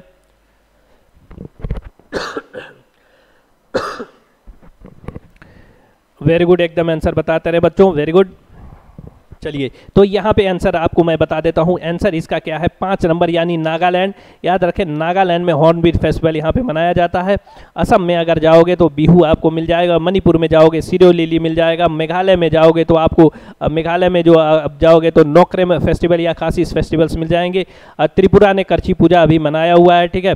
तो और नागालैंड में हॉर्नफिल फेस्टिवल मनाया जाता है। तो याद रखना, ये सभी त्यौहार जो है, इन पर्टिकुलर राज्यों से ही संबंधित हैं। और मणिपुर में और जाओगे तो एक और फेस्टिवल आपको दिख रहा है, यहाँ पे योसांग लिखा हुआ है प्लस सिरोई लिली फेस्टिवल भी मनाया जाता है। सिरोई लिली एक प्रकार का पुष्प है, यानी फूल है, जो कि केवल आपको मणिपुर में ही मिलेगा, ठीक है? लोकताक लेक भी मणिपुर में मिल जाएगा, जिसमें तैरते हुए टापू आपको मिल जाएँगे, ठीक है? चलिए, बहुत अच्छे। आगे बढ़ते हैं हम लोग। आगे बढ़िए तो देखिए how many members are there in monetary policy committee आपको ये मैंने बताया था कि मॉनेटरी पॉलिसी एक कमेटी है जो आरबीआई आरबीआई के जो है उसको देखती है, ठीक है? आरबीआई मॉनेटरी पॉलिसी बनाने के लिए अभी शुरू में जो पहला क्वेश्चन था, उसको बनाने के लिए ना उसमें जो कौन डिसाइड करेगा कितना रेट है, ये मॉनेटरी पॉलिसी कमेटी तय करती है, ठीक है? तो इसमें कितने सदस्य हैं? जल्दी से नंबर ऑफ़ मेंबर्स आप बता दो नंबर ऑफ़ कैंडिडेट आप बता दो बच्चों, जल्दी से नंबर ऑफ़ कैंडिडेट आप बता दो तो आगे मैं बताऊँ इसमें कौन कौन है, ठीक है?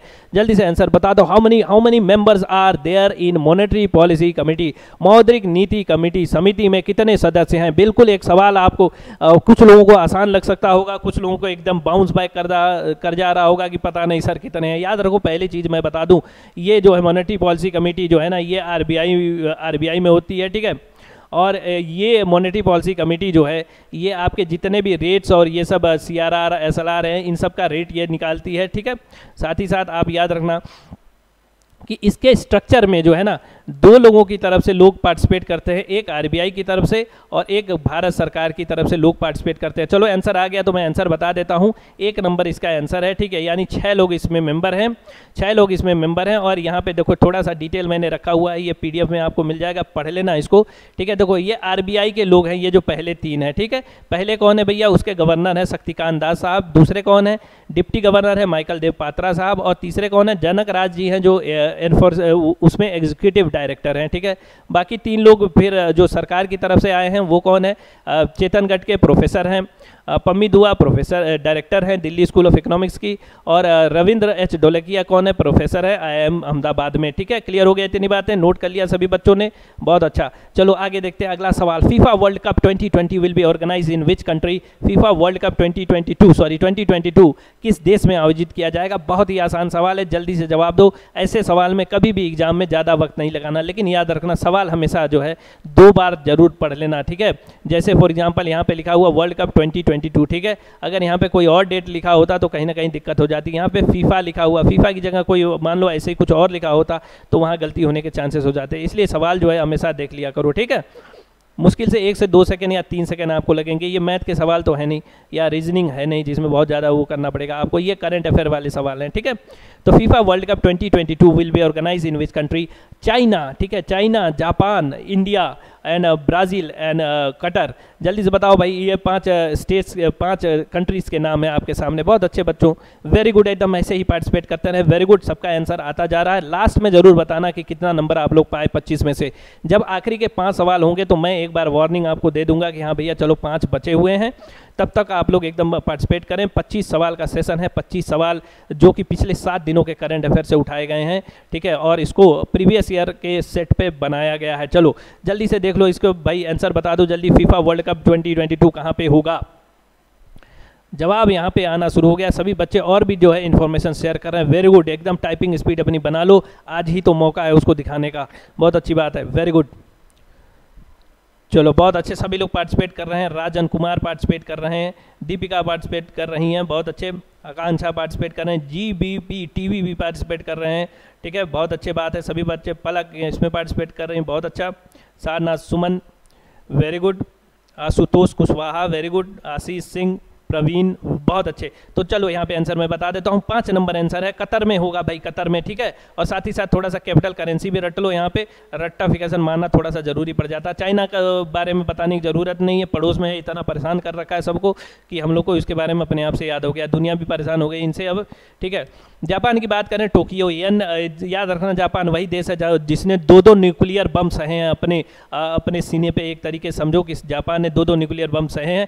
फिर भी आज भी इसको जो है ना टेक्निकल और इंडस्ट्री में कोई पीछे नहीं कर सकता। आप सोचो कितने डेडिकेटेड लोग हैं वहाँ के। ठीक है? चलिए इंडिया की बात करें, हम लोग इंडिया वो, जो है उसमें न्यू दिल्ली इसका कैपिटल है और इंडियन रुपी हम लोग यूज़ करते हैं। भारत बहुत ही वर्ल्ड का स्पिरिचुअल गुरु के रूप में और इस समय जो है ना, वो भारत जो है ना वर्ल्ड की फार्मेसी के रूप में जो है उभर के निकल आया है, ठीक है, उभर के निकल आया है। और साथ ही साथ जो है सेना की अगर आप बात करें तो सेना की ताकत के आगे पूरी दुनिया जो है, वो सलाम करती है इसको, ठीक है। अब ब्राज़ील की बात करें, ब्राज़ीलिया कैपिटल है, ब्राज़ीलियन रियाल वहाँ पर यूज़ होता है। कतर की बात करें, दोहा दोहा और कतरी रियाल वहाँ पर यूज़ होता है। चलिए आगे बढ़ते हैं हम लोग, अगला सवाल है ए आर सी ठीक है, जल्दी से बताओ बच्चों। सवाल देख लेना, बहुत थोड़ा सा टेक्निकल है। A C R regulated by which of the following निम्नलिखित में से किसके द्वारा ए को विनियमित किया जाता है? मतलब इसकी देख रेख कौन करता प्रिंसिपल कौन है? इनके ये पूछने की कोशिश करें। ए आर सी का मतलब क्या होता है? एसेट रिकॉन्स्ट्रक्शन कंपनी ठीक है? एसेट रिकॉन्स्ट्रक्शन कंपनी इसको कहते हैं। ठीक है? Asset reconstruction company reconstruction company ठीक है? एसेट रिकॉन्स्ट्रक्शन कंपनी इसको कहते हैं। तो ये पूछा जा रहा है यहाँ पे कि इसका जो देख रेख कौन करता है? जल्दी से आंसर बताओ। ज़्यादा नहीं 20 सेकंड का टाइम देंगे, बहुत ज़्यादा टाइम नहीं देंगे आपको।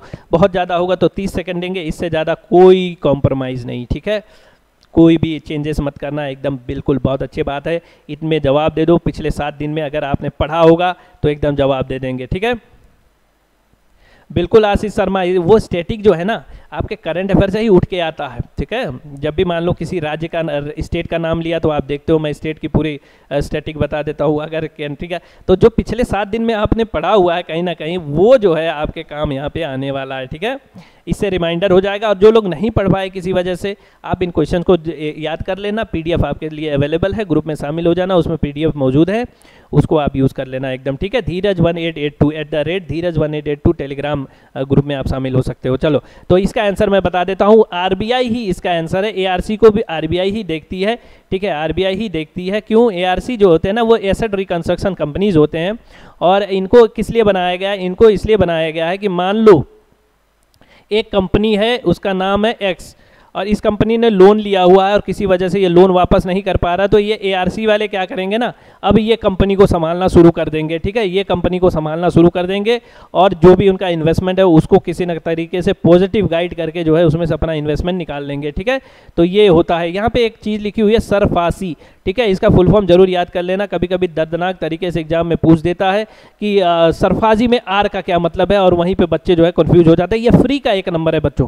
ठीक है फ्री का एक नंबर है ऐसी ऐसी छोटी छोटी चीज़ों को जो है आप रीड करके रखोगे तो आपको जो है एक एक नंबर एवे मिल जाएँगे, ठीक है?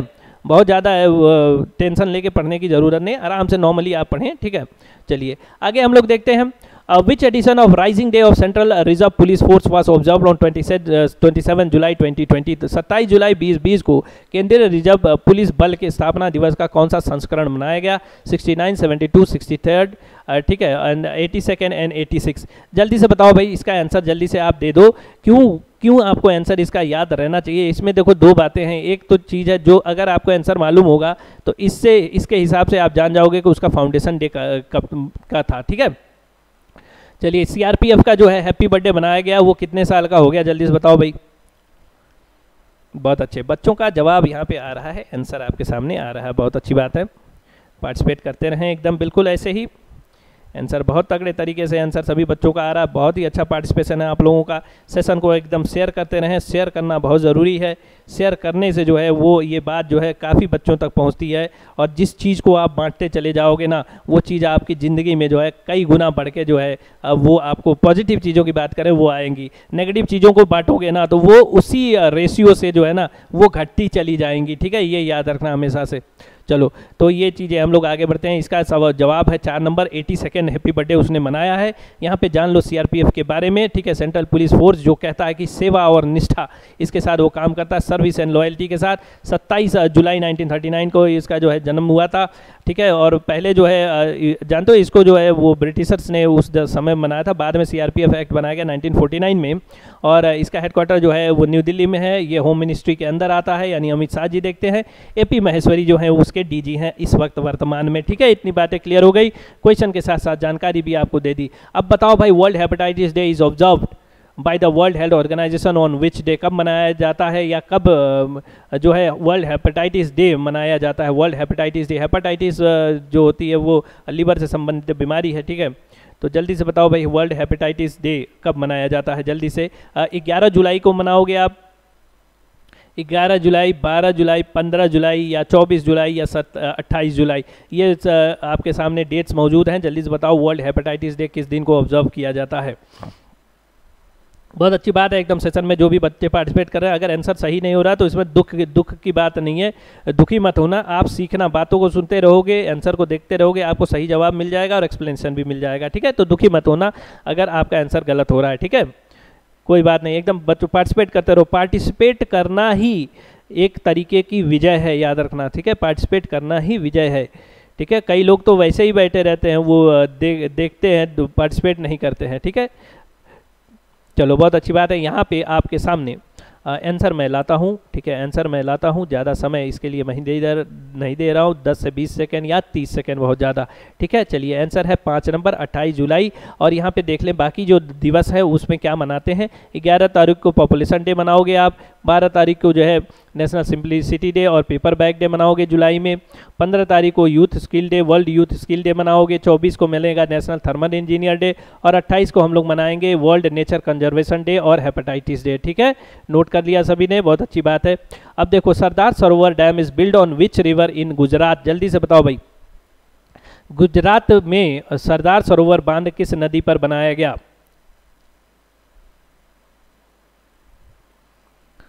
चलिए बिल्कुल बताते रहें, एकदम बताते रहें, ठीक है? बहुत अच्छे, यहाँ पे आंसर आना शुरू हो गया, सभी लोग बहुत अच्छे पार्टिसिपेशन है। नीरज कुमार हेमलता गुलशन वेरी गुड मयंक, सपना झा, दीपक वेरी गुड बहुत अच्छे, सभी लोगों का आंसर यहाँ पे आ रहा है, मैं देख पा रहा हूँ very good Atul Kumar very good Naresh, Nagendra Rao very good बहुत अच्छे। चंद्रशेखर कुमार वेरी गुड सभी बच्चे इसमें पार्टिसिपेट करते रहे। ये क्वेश्चन जो है बिल्कुल। ठीक है? बाकी के साथ छः दिन जो है हम लोग जम के जो है करंट अफेयर पढ़ते हैं और उससे रिलेटेड चीज़ें पढ़ते हैं, जो भी होता है स्टैटिक हो चाहे करंट अफेयर हो चाहे बैंकिंग हो चाहे फाइनेंस हो, सब कुछ हम लोग पढ़ लेते हैं। फिर जो है संडे को आते हुए न्यूज़ के साथ साथ जो है हम लोग पच्चीस सवाल पे अपना थोड़ा सा देख लेते हैं कि कितनी तैयारी कर ली है। चलो आंसर यहाँ पे बहुत ही आसान है। नर्मदा नदी के ऊपर बना हुआ है सरदार सरोवर डैम अगर आप देख पाओगे तो ये कंक्रीट ग्रेविटी डैम है। यहाँ पे जो है डैम बना दिया गया, पानी को स्टोर कर लिया गया। पानी जहाँ पे स्टोर होगा, वहाँ पोटेंशियल एनर्जी अपने आप से आ जाएगी और फिर इसी को जब काइनेटिक यानी मूवमेंट दी जाती है तो ये जाके टरबाइन को रोटेट करता है। टरबाइन में जो है डायनमो वाली टेक्नोलॉजी होती है, वहाँ से जो है इलेक्ट्रिसिटी आपको उपलब्ध हो जाती है, जो कि स्टोर की जाती है और फिर ट्रांसमिशन इसका किया जाता है इलेक्ट्रिसिटी जो तार के से जो है वो घर घर पहुँचाया जाता है, ठीक है? इसका लाभ कौन उठा रहा है? भाई गुजरात उठा रहा है, मध्य प्रदेश, महाराष्ट्र और राजस्थान उठा रहा है, ठीक है? ये इतने चार देश, चार राज्य जो हैं वो उठा रहे हैं। इसकी फाउंडेशन जो है 1969 में 1961 में की गई थी मतलब 2020 से माइनस कर लो, ठीक है? यहाँ पे जवाहरलाल नेहरू साहब ने जो है इनका जो फाउंडेशन जो हमारे पहले प्रधानमंत्री थे, उन्होंने इसको इनोग्रेट किया था, पहला, पहली बार बार जो है इसका फाउंडेशन स्टोन रखा था, ठीक है? चलो, आगे बढ़ते हैं हम लोग जल्दी से। आगे आपके सामने सवाल है कि recently Riva Ganguly Das was appointed by the government as the secretary east in the ministry of ministry of external affairs she is the high commissioner of which country अब जल्दी से बताओ भाई uh, ये पूछा जा रहा है कि इनका अपॉइंटमेंट किसी एक जगह पे हो गया ठीक है? वो जगह कौन है? मिनिस्ट्री ऑफ़ एक्सटर्नल अफेयर में इन्होंने जो है सेक्रेटरी ईस्ट के रूप में अब इनको अपॉइंट कर लिया गया। लेकिन इससे पहले ये क्या थी? ये सवाल है आपके सामने। जल्दी से बताओ भाई किस देश में ये जो है हाई कमिश्नर हुआ करती थी? बहुत ही आसान सा सवाल है वेरी इजी क्वेश्चन जल्दी से बताएँ।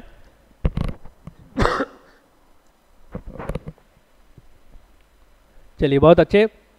सभी लोग पार्टिसिपेट करते हैं। क्वेश्चन यहाँ पे बहुत सीधा सा है, फिर से मैं बता देता हूँ कि रीवा गांगुली दास जो है, इस वक्त ministry of external affair secretary बनी है। उसमें सेक्रेटरी बनी है।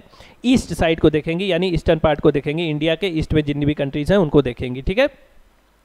सवाल आपके सामने ये है कि भैया ये आ, किस देश में पहले हाई कमिश्नर हुआ करती थी? कनाडा में थी पोलैंड में थी मालदीव्स में थी और बांग्लादेश में थी और इंडोनेशिया में थी। जल्दी से बताओ भाई। बहुत ही अच्छी, बहुत अच्छी बात, बहुत अच्छे सवाल है बहुत ही अच्छे सवाल, बहुत ही अच्छे जवाब और बहुत ही अच्छे पार्टिसिपेंट्स हैं। यहाँ पे बहुत अच्छी बात है, जो पहली बार आए हैं, वो चैनल को ज़रूर सब्सक्राइब कर लेना। और टेलीग्राम ग्रुप जो कि ऊपर लिखा हुआ है कॉर्नर में आपको दिख रहा होगा, उसमें पार्टिसिपेट कर लेना। उसमें भी ढेर सारे क्विज होते रहते हैं, ठीक है? हम लोग ब्रेक ले, लेके क्विज कराते रहते हैं एसएससी बैंक रेलवे सभी टाइप के स्टेट ऐसे सभी क्विज हम लोग कराते रहते हैं, बच्चे उसमें पार्टिसिपेट करते रहते हैं। और कई बार मटेरियल भी दी जाती है उसके माध्यम से, ठीक है? चलो, बहुत अच्छी बात है। इसका आंसर जो है, वो चार नंबर है बांग्लादेश में ये थी, ठीक है? बांग्लादेश में थी। बांग्लादेश का नाम लेते ही मुझे पता नहीं क्यों ढाका टाका शेख हसीना याद आ जाती है, ठीक है? तो ढाका टाका शेख हसीना, अब्दुल हमीद, ठीक है? बांग्लादेश जो है, वो कैपिटल करेंसी वहाँ की है। कनाडा की बात करो उठावा कैनेडियन कैनेडियन डॉलर। मालदीव की बात करो, माले, रुफिया यूज़ होता है वहाँ पर पोलन वॉर्सो ग्लोडी और इंडोनेशिया, जकार्ता रुपया रुपया वहाँ पे यूज़ होता है, ठीक है? चलिए, बहुत अच्छी बात। आगे के सवाल पे हम लोग चलते हैं। अगला सवाल आपके सामने जो मौजूद है that is recently which e commerce company has acquired Walmart incorporation best price wholesale store in India ठीक है, हाल ही में किस ई कॉमर्स कंपनी ने भारत में वॉलमार्ट वॉलमार्ट इंक के best price wholesale store wholesale store का अधिकरण किया। देखो वॉलमार्ट जो है ना, वो इंडिया में उसको रिटेल की परमिशन तो थी नहीं, ठीक है? रिटेल की परमिशन तो थी नहीं। अगर दे दी जाती तो बर्बाद कर देता बाकी लोगों को, ठीक है? तो वॉलमार्ट जो है वॉलमार्ट जो है, वो दुनिया का सबसे बड़ा रिटेल चैन स्टोर है इसका। रिटेल मतलब खुदरा व्यापार। जैसे आप जाते हो ना बिग बाज़ार वगैरह वगैरह, ठीक है? तो वैसे वॉलमार्ट जो है, ये उसका मतलब उसमें जो है, सबसे बड़ा, सबसे बड़ी कंपनी सबसे सफल कंपनी वॉलमार्ट है। भारत में जो हमारे यहाँ इन्वेस्टमेंट इनको रिटेल में पार्टिसिपेट करने का इनको परमिशन नहीं मिला है, ठीक है? तो ये क्या करते हैं? ये होलसेल वाला रिटेल इन्होंने इंट्रोड्यूस किया, जिसको बी टू बी यानी बिज़नेस टू बिज़नेस कहते हैं। रिटेल वाले में क्या होता है? बिज़नेस टू कस्टमर हम लोग बेचते हैं, ठीक है? तो इनको जो है भाई इनको पार्टिसिपेशन का अधिकार नहीं है, क्यों नहीं है? क्योंकि एफडीआई का जो परमिशन नहीं है, ठीक है? एफडीआई परमिशन यहाँ पे नहीं है। तो यहाँ पे वॉलमार्ट जो है, वो बी टू बी सिस्टम से वर्क कर रहा था, ठीक है? फिर बाद में वॉलमार्ट ने जो है, वो एक कंपनी में उसने निवेश किया, ठीक? और फाइनली एक कंपनी में उसमें, उसने निवेश किया, ठीक? तो चलिए, जल्दी से आंसर बता लीजिए, फिर आगे मैं बताता हूँ। चलिए, बहुत अच्छा। आंसर बता दिया सभी बच्चों ने। देखो आंसर एक है तो हाँ मैं बता रहा था वॉलमार्ट ने एक कंपनी में निवेश किया, वो कंपनी थी फ्लिपकार्ट ठीक है? अब उसी कंपनी ने क्या किया? उसी जो फ्लिपकार्ट है ना फ्लिपकार्ट ने जो है उसने फाइनली वॉलमार्ट का जो ये होलसेल प्राइस स्टोर था, उसको खरीद लिया। यानी इनडायरेक्टली कहीं ना कहीं वॉलमार्ट ने इसे वापस खरीद लिया, ठीक है जी? तो देखिए फाउंडेशन फ्लिपकार्ट का 2007 में हुआ था हेडक्वार्टर बैंगलोर में। इसको बनाने वाले लोग थे सचिन, बिन्नी बंसल, सचिन और बिन्नी बंसल, ठीक है? कल्याण कृष्णमूर्ति अभी सी है। और ऑनर फाइनली कौन है? सतहत्तर के साथ जो है वॉलमार्ट इसका ऑनर है, ठीक है? क्लियर हो गई? चलिए, आगे बढ़ते हैं हम लोग। Which state has hosted the Shirui lily festival जल्दी से बताओ भाई। बहुत ही आसान सा सवाल है, इसका हिंट कहीं ना कहीं आपको मालूम होगा, इसलिए जल्दी से बताओ। ज़्यादा समय इसके लिए नहीं देंगे, बहुत ही आसान सा सवाल वेरी इजी क्वेश्चन जल्दी से बताओ भैया। चलिए, यहाँ पे आंसर जो है, बच्चों का आना शुरू हो गया है ठीक है? बिल्कुल, बहुत अच्छी बात। Very good participation participation is a must participation ही जो है आपको ये बिल्कुल सुनिश्चित करता है कि हाँ आपने जो है कहीं ना कहीं कुछ ना कुछ चीज़ें जो हैं वो आपने बहुत तरीके से उसको पढ़ी हुई है। बहुत अच्छी बात है। बिल्कुल आंसर यहाँ पे आ रहा अनुराधा चौधरी, मयंक भट्टागा ज्योति इंटरटेनमेंट विचल बिल्कुल सही, बहुत अच्छी बात है। शिवम जायसवाल संदीप मिश्रा वेरी गुड बहुत अच्छी बात है। बच्चों, ऐसे ही पार्टिसिपेट करते रहे, ठीक है? गुलशन भी पार्टिसिपेट कर रहे हैं, बहुत अच्छी बात है। पार्टिसिपेशन बहुत ज़रूरी है। Neeraj Kumar very good Praveen very good आप लोग पार्टिसिपेट ऐसे ही करते रहे। देखो, बहुत ज़्यादा इन डेप्थ स्टडी जो होती है ना, बहुत ज़्यादा इन डेप्थ अगर आप स्टडी करते हैं, ठीक है? तो आपको ये भी देखना चाहिए कि आपका टारगेट क्या है। उसके हिसाब से जो है अपनी स्टडीज़ को हमेशा अलाइन करते रहिए, ठीक है? हर चीज़ नहीं पढ़नी है। हमेशा प्रीवियस ईयर पेपर कंसल्ट करें। हमेशा स्पीड टेस्ट लगाते रहें, ठीक है? उसके बेसिस पे जो है आप अपनी पढ़ाई को आगे जारी करते रहें, ठीक है? चलिए, आगे बढ़ते हैं, जल्दी से आंसर देख लेते हैं। इसका दो नंबर आंसर है, मणिपुर में सिरोली मनाया जाता है, जैसा कि हमने बताया था। और साथ ही साथ मणिपुर में कुछ और फेस्टिवल मनाए जाते हैं, जिसको योसांग कहते हैं रथ यात्रा फेस्टिवल होता है, जिसको कांग कहते हैं न्यू ईयर मनाया जाता है, जिसको चैरोबा कहते हैं, ठीक है? तो ये इतने फेस्टिवल भी मणिपुर में मनाए जाते हैं, इसलिए याद रखना इनको। चलिए, आगे देखते हैं who is the author of the Indian ways strategy for uncertain world ठीक है? जल्दी से बताओ भाई, कौन है इसके लेखक? चलिए बताएँ who is the author of the Indian way strategies for uncertain world the Indian way strategies for अन ठीक है? जल्दी से बताओ अनसर्टेन वर्ल्ड के लेखक कौन है? आसान सा सवाल है, जल्दी से जवाब इसका दे दे, बहुत आसान सा सवाल है, यहाँ पे ऑप्शन आपके लिए बहुत से हैं। Doctor Jaishankar doctor Jaishankar S Jaishankar, ठीक है? और अगर हम लोग बात करें, शशि तरूर साहब हैं, अमित त्रिपाठी जी हैं, और डॉक्टर हर्षवर्धन हैं, और अरुणति भट्टाचार्य। ये पाँच ऑप्शन आपके सामने हैं, लेकिन किताब लिखने वाला तो कोई एक ही होगा ना इसमें। जल्दी से बताओ भाई, the Indian ways strategy for uncertain world किसने लिखा है? देखो, यहाँ पे अगर थोड़ा सा आप लगाओगे दिमाग तो यहाँ पे स्ट्रेटजी की बात हो रही, यहाँ पे बात की जा रही है कि वर्ल्ड की बात की जा रही है, और वहाँ पे इंडिया की बात करें कि इंडिया कैसे, वर्ल्ड से रिलेटेड अपनी स्ट्रेटजीज को लाइन करता है, ठीक है? तो उसके हिसाब से जब आप देखो, थोड़ा सा हिंट आपको मिल जाएगा, ठीक है? चलिए, बहुत अच्छी बात है। जल्दी से मैं आंसर बता देता हूँ। वेरी गुड सभी बच्चे यहाँ पे पार्टिसिपेशन बहुत अच्छी बात है। एकदम वेरी गुड चलिए आंसर आंसर जो है आप लोग बताते रहें। बिल्कुल आंसर एकदम बताते रहें। आंसर यहाँ पे आता जा रहा है। एकदम मैं देख पा रहा हूँ। आंसर आ रहा है सबका। बहुत अच्छी बात है। सभी बच्चे पार्टिसिपेट कर रहे हैं। वेरी गुड पार्टिसिपेशन ऐसे ही बनाए रखें। पार्टिसिपेशन से जो है आपको पार्टिसिपेशन जो पार्टिसिपेशन करते रहेंगे तो कोई ना कोई आइडिया आपको ज़रूर लग जाएगा यहाँ पे, ठीक है? चलिए आंसर यहाँ पे बता देता हूँ। एक नंबर है डॉक्टर एस जयशंकर साहब जो हैं, वो इस इस किताब के वो लेखक हैं, ठीक है? अगर हम बात करें, बाकी लोग जो यहाँ पे मौजूद हैं, उनकी भी कुछ किताबें आई हुई हैं, जिसमें से डॉक्टर हर्षवर्धन ने जो लेटेस्ट किताब जो उनकी जो मार्केट में दिखी that was a tale of two drops ये पोलियो से रिलेटेड है, ठीक है? Legend of Suhel Dev the king who saved India ये अमित त्रिपाठी इन्होंने लिखा है। सती, शशि तरूर साहब जो है समीर सरन के साथ जो है, उन्होंने the new world order dis world disorder and Indian imperative उन्होंने लिखा हुआ था, ठीक है? चलिए, आगे बढ़ते हम लोग। अगला सवाल आपके सामने है। नगर जुना सागर डैम जो है is build on which river in Andhra Pradesh तो पहली चीज़ तो ये जान लो कि नगर ये नगर, जुना सागर डैम जो है ना सागर डैम जो है वो आंध्र प्रदेश में है। ये तो आपको क्लियर हो गया। जल्दी से बताओ भाई ये पेरियार पे है पन्ना पे है नर्मदा पे है कृष्णा पे है या आ, किसी नदी पे है ही नहीं? ठीक है जल्दी से बताओ भाई। बहुत अच्छा आंसर आंसर बिल्कुल मुझे दिख रहा है। बिल्कुल बहुत अच्छी बात है बच्चों। वेरी गुड चलिए जल्दी से बता दीजिए कि इसका आंसर क्या होगा। अगला सवाल जो आपके सामने है कि नगर अजुना सागर डैम जो है वो किस नदी पे मौजूद है? वेरी गुड बहुत अच्छे आंसर यहाँ पे लोग देते जा रहे हैं। ठीक है, बिल्कुल सही। Gulshan is also participating Rohit Kumar participate कर रहे हैं। अंकित कुमार हैं इसमें। बहुत अच्छा। S Maurya, Atul Kumar very good Deepak, Dipendra Garg, Vivek Madeshiya very good बहुत अच्छे आप लोग ऐसे पार्टिसिपेट कर रहे हैं, बहुत अच्छे बच्चों। बिल्कुल पार्टिसिपेट ज़रूर करो, गलत है सही, वो तो बाद में देखा जाएगा यार पार्टिसिपेट करो, ठीक है? आंसर आपको ज़रूर पता चल जाएगा, यहाँ पे आंसर आपको मिल रहा है आंसर के साथ कुछ चीज़ें भी मिल रही हैं, ठीक है? पार्टिसिपेशन बहुत ज़रूरी है वेरी गुड बहुत अच्छी बात है आंसर मैं बता देता हूँ, चार नंबर है कृष्णा नदी, ठीक है?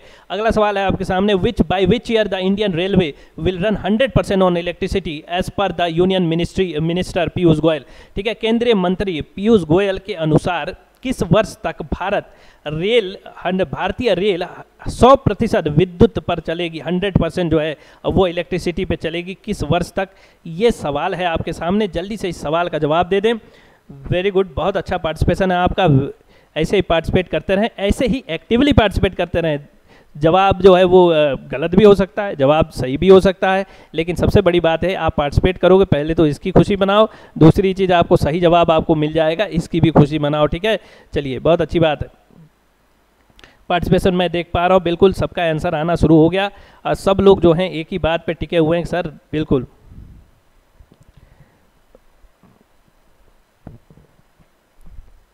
चलो, बहुत अच्छी बात। यहाँ पे देखें हम लोग वेरी गुड विदेश मंत्री जय बिल्कुल वो डॉक्टर जयशंकर की आप बात करें, बिल्कुल सही जवाब है। चलिए, फिर से सवाल पढ़ देता हूँ by which year Indian railway will run 100 percent on electricity as per the union ministry minister Piyush Goyal केंद्रीय मंत्री पीयूष गोयल के अनुसार किस वर्ष तक भारतीय रेल 100 प्रतिशत विद्युत पर चलेगी? देखो जो हमारे ये पीयूष गोयल साहब है ना ये कह रहे हैं कि भैया देखो आ, हम लोग जो है ना आगे चल के एक वर्ष तक आगे चल के जो है हम लोग दुनिया के जो है ना सबसे सबसे साफ़ green climate friendly eco friendly और वगैरह वगैरह टाइप के रेलवे हम लोग चलाने लगेंगे ठीक है? तो ये उन्होंने बात की है। यहाँ पर आंसर सभी बच्चों का आना शुरू हो चुका है। और आंसर के साथ साथ मैं आपको बता देता हूँ कि सही आंसर क्या है। वेरी गुड बहुत से बच्चे जो है वो वन पे ही एकदम टिके हुए हैं हंड्रेड परसेंट टिके हुए हैं। वेरी गुड पार्टिसिपेशन ऐसे ही करते रहें। बिल्कुल। चलो तो आंसर मैं बता देता हूँ। बिल्कुल सभी लोग तैयार हैं आंसर जानने के लिए। आंसर यहाँ पे है। तीन number that is twenty twenty four बीस चौबीस तक जो है ये बात कही गई। यूनियन मिनिस्टर जो हमारे हैं, ठीक है पीयूष गोयल साहब, ठीक? उन्होंने ये बात कही, ठीक है? और साथ ही साथ अगर आप देखो तो यहाँ पे आपको दिखेगा कि रेलवे जो है 20-24 तक जो है वो इलेक्ट्रिसिटी पे चलने लगेगी, ठीक है? इलेक्ट्रिसिटी पे चलने लगेगी, मैक्सिमम ये टारगेट रखा गया है और पूरी तरीके से पूरा रेलवे जो है ना वो प्योरली इको फ्रेंडली बना देंगे। खाली इलेक्ट्रिसिटी पे हर चीज़, हर जगह एक बल्ब भी जलेगा तो वो प्योरली जो है ना वो इलेक्ट्रिसिटी वाला केस होगा। एक डीजल इंजन रहेंगी नहीं, ठीक है? ये सब वो करने वाले हैं 2030 तक, ठीक है? तो ये उनका टारगेट है, ठीक है? जल्दी से बताओ भाई, Nag river is located in which state Nag नदी किस राज्य में स्थित है? उत्तराखंड, अरुणाचल प्रदेश, महाराष्ट्र, मेघालय, गुजरात। आसान सा सवाल हो ये उन बच्चों के लिए होगा, जिन बच्चों ने थोड़ा सा इसको पढ़ा होगा।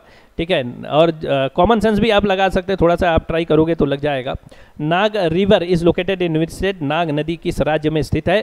उत्तराखंड, यहाँ पे उत्तराखंड आपके सामने ऑप्शन है। उत्तराखंड की नाम लेते ही घरसैन याद आ जाता है लाइकन पार्क याद आता है, अरुणाचल प्रदेश यहाँ पे मौजूद है। ठीक है? महाराष्ट्र है मेघालय है और गुजरात है। महाराष्ट्र ने हाल ही में जो है चाइनीज़ फॉर्म्स के जो है ऑर्डर दस हज़ार करोड़ के ऑर्डर्स जो है उन्होंने कैंसिल कर दिए थे। ठीक है? और साथ ही साथ अगर आप बात करें तो जो भारतीय एक्सा को इन्होंने क्या कहते हैं, जो प्रधानमंत्री फ़सल बीमा योजना है ना पर महाराष्ट्र और कर्नाटक ने, उन्होंने कहा कि भारतीय एक्सा को कहा कि भैया तुम जो है यहाँ पे सभी किसानों के फ़सल का आप लोग बीमा करना शुरू कर दो, ठीक है? तो भारतीय एक्सा भी शुरू हो गई है। भारतीय एक्सा जो है, उसने एक मुहिम लाई है, उसमें कहा है कि बहुत ज़रूरी है। ठीक है, ये मुहिम का नाम है। बहुत ज़रूरी है कह के एक स्कीम लाई है जिसके तहत मुहिम लाई है जिसके तहत वो किसानों तक पहुँचेंगे और बताएँगे, भैया अपने फ़सल का इंश्योरेंस करा लो। ठीक है? कोई भी विपत्ति आएगी तो आपको कम से कम आपका जो है कोई ना कोई अमाउंट आपको मिल जाएगा। ठीक है? चलो, बहुत अच्छी बात। और यहाँ पे आंसर बहुत से बच्चे देना शुरू कर चुके हैं। गुजरात मेघालय, महाराष्ट्र, अरुणाचल प्रदेश, उत्तराखंड, ये आपके ऑप्शन हैं। मेघालय की बात करोगे, चीरापूंजी और मौसीराम जो है आपको वहाँ मिलेगा। और यहाँ पे सबसे ज़्यादा जो है वर्षा जो होती है, मिलीमीटर में वर्षा नापते हैं ना? तो सबसे ज़्यादा वर्षा यहाँ पे होती है। ठीक है वर्ल्ड में। और अगर आप मेघालय की बात करोगे तो मेघालय की राजधानी खूबसूरत सी शिलोंग जो राजधानी वहाँ की, मेघालय में आप जाओगे ना तो मेघालय में वहाँ पे कुछ ब्रिज मिलेंगे, ठीक है? ब्रिज मिलते हैं। ब्रिज मतलब पुल मिलेंगे, जिनको कहा जाता है रूट ब्रिज ठीक है? रूट ब्रिज मतलब ये पेड़ों के जो जड़े हैं ना, उनसे ये ब्रिज बनी हुई है। और कई ऐसे फिक्सियस मूवीज़ जो बनती है ना, जैसे मान लो ये जो हेनरी जो हैरी पॉटर वाली मूवीज़ हैं उसकी बात करो, या फिर ये जो मूवीज़ चलती है ना the lord of the ring वगैरह तो ये सब मूवी में जहाँ भी आप देखोगे, ठीक है, या फिर ऐसी कोई भी अगर मूवी मिलती है जिसमें थोड़ा सा डरावना सीन बनाना पड़ता है, धुआँ दिखे, कोहरा दिखे और जंगल दिखे, ठीक है फेरी टेल्स टाइप की मूवी जब बनती है ना तो उसमें ये ब्रिज दिखाया जाता है। ये ब्रिज जानते हो क्या होता? इसको, इस ब्रिज को जो जो जड़ें होती है ना, उनको ऐसे तरीके से जोड़ दिया जाता है कि वो जड़ें जो है, दो दो खाई के बीच की जो डिस्टेंस है ना, उसके बीच में वो ब्रिज का काम कर देती हैं, ठीक है? तो ये आपको मेघालय में मिल जाएगा। चलो बिल्कुल कभी गूगल सर्च कर लेना या फिर मौका मिले जीवन में कोविड नाइन्टीन ये ख़त्म हो जल्दी से तो आप ज़रूर भारत दर्शन ज़रूर करना, भारत को ज़रूर समझो यहाँ पे, ठीक है? भारत को ज़रूर यहाँ पर जाएँ, ठीक है? चलिए मैं यहाँ पे जल्दी से हम लोग आगे बढ़ें। सेशन सेशन को जो है लाइक करते रहे बच्चों बिल्कुल एकदम सेशन को लाइक करते रहें। टेलीग्राम ग्रुप आपके लिए कॉर्नर में लिखा हुआ नए बच्चे उससे जुड़ सकते हैं। आ, बिल्कुल चलो बहुत अच्छी बात है। तो यहाँ पे देख लेते हैं इसका आंसर क्या है एग्जैक्टली आंसर इसका है तीन नंबर यानी महाराष्ट्र। ठीक है महाराष्ट्र की यहाँ पे हम लोग बात कर रहे हैं ठीक? तो ये देखिए आपको यहाँ पे चीज़ें दिख रही हैं ठीक है? नाग नदी जो है नागपुर आपको दिख रहा है ठीक है? चलो बहुत अच्छी बात है। आंसर आपको मिल गया।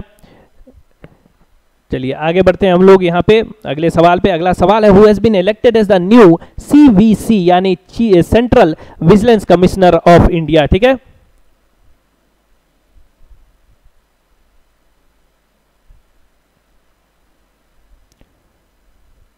जल्दी से बताओ भाई, बहुत ही आसान बहुत ही आसान तो नहीं कह सकता, लेकिन हाँ क्वेश्चन बहुत ही वैलिड है, ठीक है? क्वेश्चन बहुत ही वैलिड है। जल्दी से बताओ भैया who has been elected as the new central vigilance commissioner of India Bharat के नए केंद्रीय सतर्कता आयुक्त के रूप में किसे चुना गया है? बिमल जुल्का, सुधीर भार्गव जनक राज जनक राज और यहाँ पे देखिए संजय कोठारी और राजीव बंसल। तो ये पाँच ऑप्शन आपके सामने हैं। सवाल बस एक ही है, ठीक है भाई? विजिलेंस कमिश्नर किसको बनाया गया, ठीक है?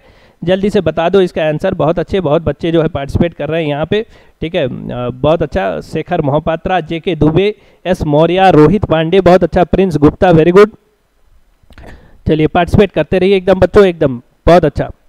चलो यहाँ पे आंसर आ रहा है, बिल्कुल। गुलशन सातवाने वेरी गुड चलिए पार्टिसिपेशन एकदम पार्टिसिपेशन बिल्कुल ज़रूरी है। गलत सही तो बाद में देखा जाएगा, ठीक है? ये एग्ज़ाम बिफोर एग्ज़ाम भी नहीं कह सकते, वो तो स्पीड टेस्ट हमारा होता है, वो एग्ज़ाम बिफोर एग्ज़ाम होता है, ठीक है? यहाँ पे आप समझ लो, उससे पहले का एग्ज़ाम आप कह सकते हो एग्ज़ाम बिफोर स्पीड टेस्ट ठीक है? तो ये वाला एग्ज़ाम है आपका, बिल्कुल सही, बहुत अच्छी बात है बच्चों। आंसर यहाँ पे आपका आना शुरू हो गया है, ठीक है? फिर से मैं एक बार सवाल आपको रिपीट कर देता हूँ, ठीक है? बिल्कुल, राजेश जी का क्वेश्चन जो है, राजेश कुमार सिंह का ओ नो, मेरा आंसर गलत होगा कोई बात नहीं, आप सही आंसर अभी आपको पता चल जाएगा, ठीक है? चलिए, बहुत अच्छा बात। तो यहाँ पे देखिए, सवाल है कि who has been elected as the new central vigilance commissioner Bharat के नए केंद्रीय सतर्कता आयुक्त के रूप में किसे चुना गया? बिमल जुल्का, सुधीर भार्गव, जनक राज संजय कोठारी और राजीव बंसल। आंसर है यहाँ पे संजीव कोठारी। बाकी लोगों की बात करेंगे तो आप देखो विमल जुल्का जी जो है ना, वो सी आई सी इंफॉर्मेशन कमिश्नर हैं, ठीक है? और यहाँ पे सुधीर भार्गव जी उससे पहले थे बिमल जुल्का जी से पहले थे। जनक राज साहब, अभी अगर आपने ध्यान दिया होगा तो एनफोर्समेंट जब मॉनेटरी पॉलिसी की टीम में दिखा रहा था तो उसमें आपने देखा होगा कि एग्जीक्यूटिव डायरेक्टर आरबीआई के ये थे, जो मॉनेटरी पॉलिसी टीम में भी हैं मॉनेटरी पॉलिसी की कमेटी वाली टीम में। राजीव बंसल साहब जो हैं, उनके ऊपर बहुत ही डिफ़िकल्ट टास्क एक है दैट इज़ एयर इंडिया को संभालने वाला टास्क है सी एम है एयर इंडिया के, ठीक है? चलिए, बहुत अच्छी बात। अगला सवाल आपके सामने है who won the most favourite ध्यान रखना सवाल के जवाब देने में, ठीक है? Who won the most favourite television actor award at Dada Saheb Phalke international film festival award याद रखना, ये वो दादा साहब फाल्के अवार्ड नहीं है जो सरकार की तरफ़ से मिलता है, ठीक है? इसका पूरा नाम है इंटरनेशनल फ़िल्म फेस्टिवल ठीक है? तो सवाल यह है कि Dada Saheb Phalke international film festival award में सबसे पसंदीदा टेलीविज़न अभिनेता किसने जीता, ठीक है? रणवीर सिंह आपके सामने ऑप्शंस में है, ठीक है? रणवीर सिंह, अक्षय कुमार, ऋतिक रोशन, हर्षद चोपड़ा, वरुण धवन। ठीक है? तो ये आपके सामने कुछ नाम है और इस नाम में से आपको जवाब जो है ढूंढना है, ठीक है?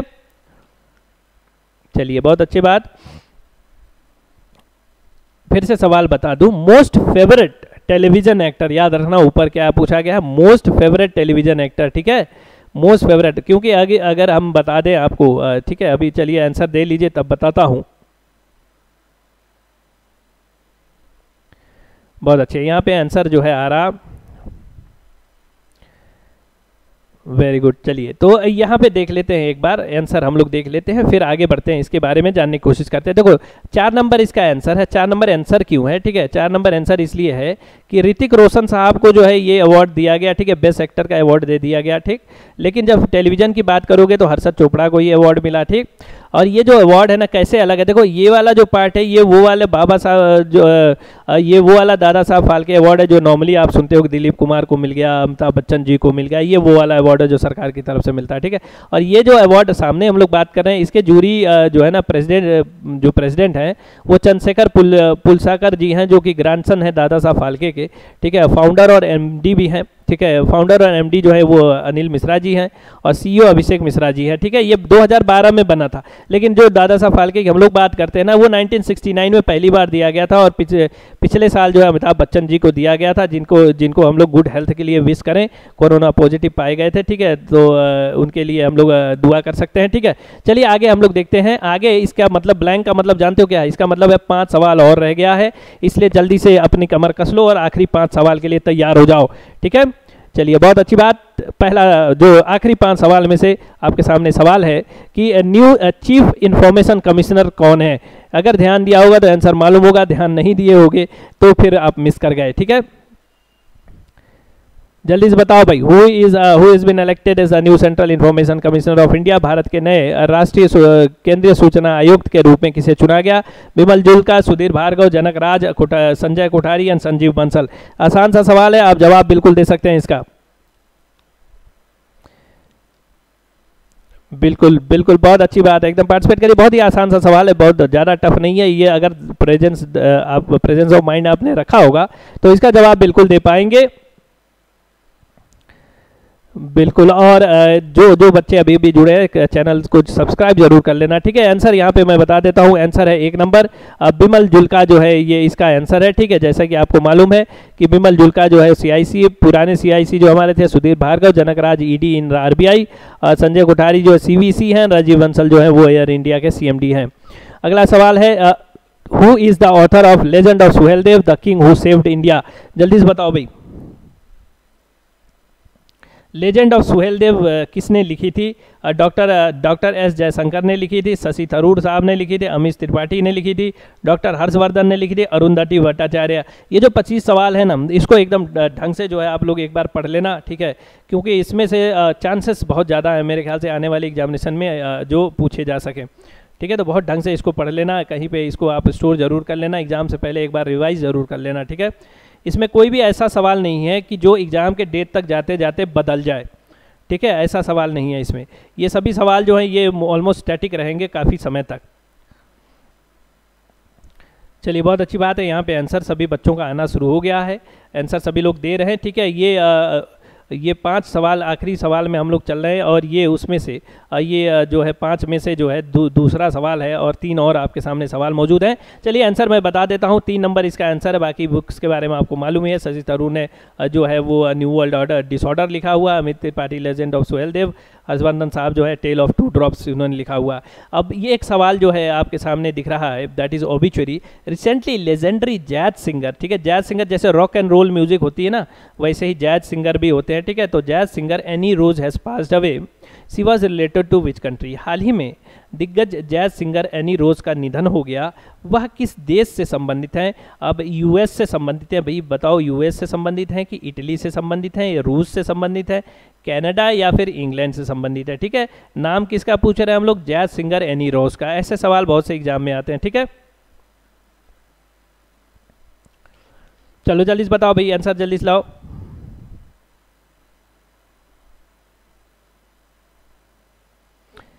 लाओ कपिल कह रहे हैं कि, सर, आज किसी का नाम नहीं ले रहे। अरे मैं सबका नाम ले रहा हूँ। बार बार आप ध्यान नहीं दे रहे हो भाई। कपिल, आपका भी नाम लिया था। ठीक है, कपिल बिग बॉस। ठीक है, चलो बिल्कुल शेखर महापात्रा बहुत सही जवाब दे रहे हैं। बिल्कुल, Om Kumar Das very good Balram Singh very very good बहुत अच्छे। चलो जल्दी से तीन सवाल और आगे आपके सामने हैं। उसके बाद आप लोग बता देना कितने कितने स्कोर आपने किए हैं। ठीक है, चलिए, जल्दी से बता दीजिए इस सवाल का जवाब। भूख लग गई है भीम को। बिल्कुल भूख लग गई है बहुत अच्छी बात है। भीम, अभी जाके खा लेना, ठीक है? तीन सवाल और खा लो, ठीक? थोड़ा सा नाश्ता कर लो। यहाँ पे जो नॉलेज का नाश्ता है, बहुत अच्छी बात। चलिए आंसर है इसका पाँच नंबर। इंग्लैंड इसका जवाब है, ठीक है? इंग्लैंड इसका जवाब है। याद रखिएगा जो लेजेंडरी जैज सिंगर लेकिन याद रखा अगर हम इंग्लैंड कहते हैं ना इंग्लैंड अगर हम कहते हैं तो एक चीज़ हमेशा याद रखना कि इंग्लैंड जब कहोगे ना, जी यूके को याद कर लेना यूके के अंदर इंग्लैंड आता है, क्योंकि यूके के अंदर आते हैं इंग्लैंड, ठीक है, स्कॉटलैंड, और इसी के अंदर साथ साथ आता है नॉर्दर्न आयरलैंड, और इसी में आता है आपका वेल्स। तो इन सभी लोगों को मिला दोगे ना तो ये ग्रेट ब्रिटेन बना देता है, ठीक है? यूके बना देता है। आपको यूके ये पूरा होगा। इसमें से आइलैंड को नॉर्दर्न आइलैंड को माइनस कर दो। ये ग्रेट ब्रिटेन बन जाएगा, ठीक है? चलिए, बहुत अच्छी बात क्लियर हो गया यहाँ पे। और यू, जो जो ये ब्रिटेन है आपका, और ब्रिटेन के समुद्र पार अगर आप देखोगे तो वहाँ पे फ्रांस दिखेगा, और इन दोनों के बीच में जो है इंग्लिश चैनल आपको मिल जाएगा, ठीक है? चलिए इंग्लिश चैनल मतलब वो समुद्र का एक पार्ट होता है, एक हिस्सा होता है, ठीक है? और इसको कई लोग जो है, इसको पार्टिसिपेट करते हैं, इसको जो है तैर के इसको पार करते हैं, ठीक है? चलिए तो आगे देखते हैं हम लोग, अगला सवाल आपके सामने, Shiv Bhojan scheme which which is aimed at providing meal to the poor at subsidise rate was recently launch in which state Shiv Bhojan योजना, जिसका उद्देश्य गरीबों को रियायती दरों पर भोजन उपलब्ध कराना है हाल ही में किस राज्य में राज्य में शुरू किया गया? महाराष्ट्र, राजस्थान मध्य प्रदेश, असम, उड़ीसा, ये पाँच आपको सामने स्टेट हैं और पूछा ये जा रहा, बहुत सीधा सा सवाल है कि शिव भोजन स्कीम कहाँ पे चलाई जा रही है? ठीक है? उड़ीसा की जब भी याद यहाँ पे नाम आएगा ना तो याद रखना, नवीन पटनायक जी को पेटा अवार्ड मिला है, ठीक है? पेटा अवार्ड मिला हुआ है, ठीक है? चलिए, बहुत अच्छी बात। अगर हम मध्य प्रदेश की बात करेंगे तो डिस्पाइट अदर थिंग्स याद रखिएगा, इसके पूर्व गवर्नर लालजी टंडन जी का हाल ही में निधन हो गया, ठीक है? और आनंदी बेन पटेल जी जो है, वहाँ की एडिशनल वहाँ एडिशनल कार्यभार उन्होंने वहाँ पर संभाला हुआ है, ठीक है? चलिए, असम की बात करेंगे तो असम में अगर आप बात करोगे, इस समय बहुत बाढ़ आई हुई है। काजीरंगा जो वहाँ का जो पार्क है, जो वहाँ पे काफ़ी मतलब नुकसान, क्षति जो हुई है, जानवरों की जान माल की हुई है, ठीक है? और साथ ही साथ अगर देखेंगे तो जो इंग्लैंड के जो प्रिंस हैं ठीक है? उन्होंने भी ये, इस पर थोड़ी सी चिंता उन्होंने ज़ाहिर की कि भाई ये जानवरों का निधन हो रहा है, थोड़ा सा उपाय करना पड़ेगा। ठीक है तो ये वहाँ पे बात ये हुई थी। असम की बात करेंगे तो असम में आपको मालूम है, हाल ही में एक ऑयल जो जो यहाँ पे जो एनजीटी है, ठीक है नेशनल ग्रीन ट्राइब्यूनल उसने जो है सवाल पूछ दिया, ठीक है, सवाल पूछ दिया वो से कि भैया ये बताओ कि आप जो है वो नेशनल पार्क वाले एरिया में कैसे आप खुदाई कर रहे हो? वहाँ पे तेल की कुएँ बनाने की कोशिश कैसे कर रहे हो? ये भी सवाल उसने वहाँ पे पूछ दिया, ठीक? और कुछ दिन पहले जो है वहाँ पे ब्लास्ट भी हुआ था एक, जो ऑयल डिप जो ऑयल वाली मशीन है जहाँ पे ऑयल ड्रिलिंग होती है, ठीक है? वहाँ पे ब्लास्ट भी हुआ था जिसके लिए कमेटी गठित की गई थी, ठीक है? तो ये चीज़ें हैं कुछ। चलिए, जल्दी से जल्दी से आंसर इसका दे दें। आंसर यहाँ पे मैं बता देता हूँ, एक नंबर है महाराष्ट्र, ठीक है? महाराष्ट्र जो है इसका आंसर है। और महाराष्ट्र की बात करोगे देखो यही नहीं है, बहुत सी स्कीम महाराष्ट्र ने लाई हुई है। उस स्कीम को देख लो, यहाँ पे Jyotirao Phule Shetkari Shetkari loan waiver scheme आया हुआ है, ठीक है? साथ ही साथ आप देखोगे, वहाँ पे एम्प्लॉयमेंट जनरेशन प्रोग्राम्स हैं अगर महा स्वयं एम्प्लॉयमेंट रजिस्ट्रेशन प्रोग्राम है। और वहाँ पे देखोगे जन आरोग्य योजना लाई गई है, ठीक है? उसके बाद साथ ही साथ जो है मुख्यमंत्री सौर कृषि पंप योजना भी लाई गई है। ठीक है तो ये महाराष्ट्र में सब कुछ लाए गए हैं, इसको ज़रूर पढ़ते रहें। Indian institute of remote sensing is located in which city. बहुत ही तगड़ा, बहुत ही अच्छा सवाल है। जल्दी से बताओ भाई आई आई आर एस ठीक है, ये निम्नलिखित में से किस राज्य में है? शिमला में है बेंगलुरु किस किस स्थान पे है? बेंगलुरु में है, शिलोंग में है त्रिवेंतपुरम में है या देहरादून में है? ठीक है, देहरादून में है, ठीक है, जल्दी से बताओ। यानी दूसरे दूसरे शब्दों में हम लोग पूछ रहे हैं कि हिमाचल में है, कर्नाटका में है कि मेघालय में है, कि केरल में है, कि उत्तराखंड में है? जल्दी से बताओ भाई। चलिए, बहुत अच्छी बात है। यहाँ पे आंसर बच्चों बच्चों का देना, इन्होंने आंसर देना शुरू कर दिया। बहुत तगड़े, बहुत ही अच्छे तरीके से आंसर दे रहे हैं, बिल्कुल। आ, देखो यहाँ पे जो है साधना सुमन को बात समझ में आ गई है कि क्वेश्चन वही है लेकिन थोड़ा सा घुमा दिए देखो बच्चों पहले ही मैंने डिक्लेरेशन दे दिया पिछले छः सात छः दिनों में जो हम लोगों ने पढ़ा था सवाल वहीं से उठेंगे। देखो, मैं कोई चीटिंग नहीं करूँगा कि कहीं नया सवाल ला के आपको जो है ऐसा महसूस कराऊं कि आप लोग जो है आपने पढ़ा नहीं है। ठीक है, देखो, मोरल नहीं ब्रेक करूँगा। बच्चों, आपका, मैं बस इतना कह रहा हूँ कि जो पिछले छः दिन में आपने पढ़े हैं, जो हम लोग डील किए हैं, जो हमने डिस्कस किए हैं उसी से रिलेटेड मैंने चीज़ें उठा दी थोड़ा सा इधर उधर घुमा भी दिया है। तो ये जो है वो आप लोग जो है यहाँ पे ठीक है, उसमें आप पार्टिसिपेट कर रहे हैं। इससे आपका रिवीजन हो जा रहा है, ठीक अगर मैं कहूँ कि मैं रिवीजन करा रहा हूँ, फिर उसके लिए आप अलग मोड से आते हो। उससे उठा के सवाल पूछ दिया, अगर आपने पढ़ा होगा तो आपको याद होगा, ठीक है? चलो, यहाँ पे आंसर बच्चे देना शुरू कर दिए, हम लोग आगे बढ़े जल्दी से। आंसर देखो, यहाँ पे पाँच नंबर है, देहरादून में जो है आपको मिल जाएगा। देहरादून में आपको क्या मिल जाएगा? देहरादून में आपको मिलेगा Indian institute of remote sensing ये 1966 में बना था, प्रकाश चौहान जी डायरेक्टर है। और इसरो के जो हमारे चेयरपर्सन साहब हैं, यानी कैलाश कैलाश वादी वादिवो सिवन, ठीक है? ये के सिवन जिनको शॉर्ट में कहा जाता है, ये साहब जो हैं इसके चेयरपर्सन हैं, ठीक है? इतनी क्लियर हो गई बातें। अभी इतने सवाल आपके समाप्त हो चुके हैं। बच्चों, जल्दी से बताओ मुझे कि आप लोगों ने कितना स्कोर किया जल्दी से स्कोर देना शुरू कर दें सभी लोग। और मैं अपने आप को जो है स्क्रीन पर जल्दी से ला देता हूँ आपके सामने और मेरे पीछे जो है, अगर आप देखोगे, ठीक है, अगर आप देखोगे तो मेरे पीछे आपको, यहाँ पे पीछे देखो, ये दिख रहा है ना, ये क्या लिखा हुआ?